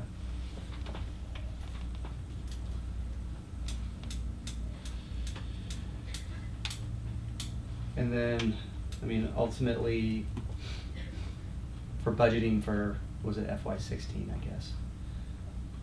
Wh- When would you want a completed CWP? I mean, I guess, you know, I, I don't know if any of that actually has any relevance, actually like stamping it done, or if, once you have the CIP and the numbers, that might be enough to work off of. Yeah, I wouldn't worry about that too much. Okay. I'm Just trying to Yeah. get everything wrapped up here and Yep. we're good for the next fiscal year. So just so you know, the, the capital plan this past year started in September. Yeah, yeah. I know it always starts a lot earlier than it, than it This is the first year they've done that. Usually they work together with the budget, and our budget work usually starts in January, each, for each fiscal year. It seems to me we need, once, once we get this process finished, we need to go to the public and say, this is what's going on at the treatment plant and in the collection system. And Boy, hold on. And your bill.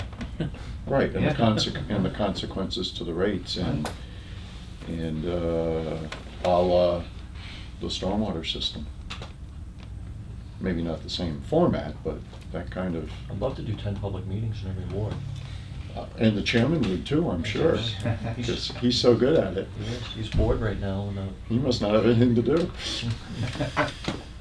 that's a good point though. I mean, we really, really need to get the, the word out on what's happening here. Right. Right. I mean, we've got a huge problem and uh, we can't let it wait until we just decide to address the budget.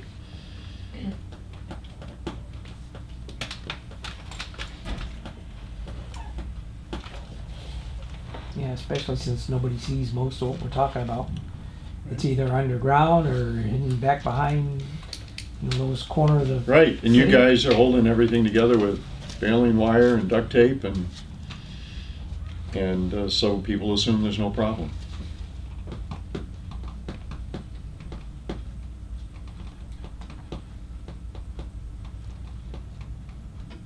So currently, the mayor looks at a five-year capital plan, and this year, because we have cash stabilization funds uh, from the DOR that was recommended, if we're set aside money away for projects, we have to list those projects in the capital plan, just so everyone's aware of that. So if we are doing something, we're gonna have to put out a minimum of a five-year plan and the costs associated with when we're gonna tackle those projects. So that will go to city council.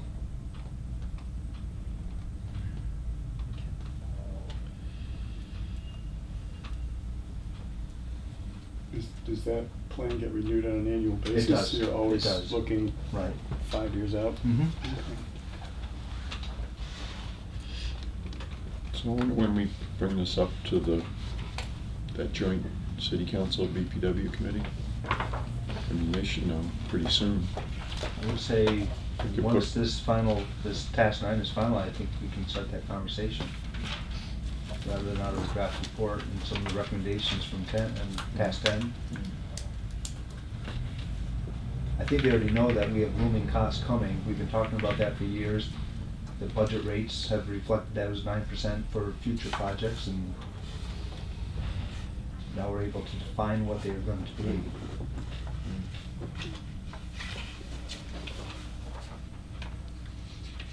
Should be a good ten minute agenda item.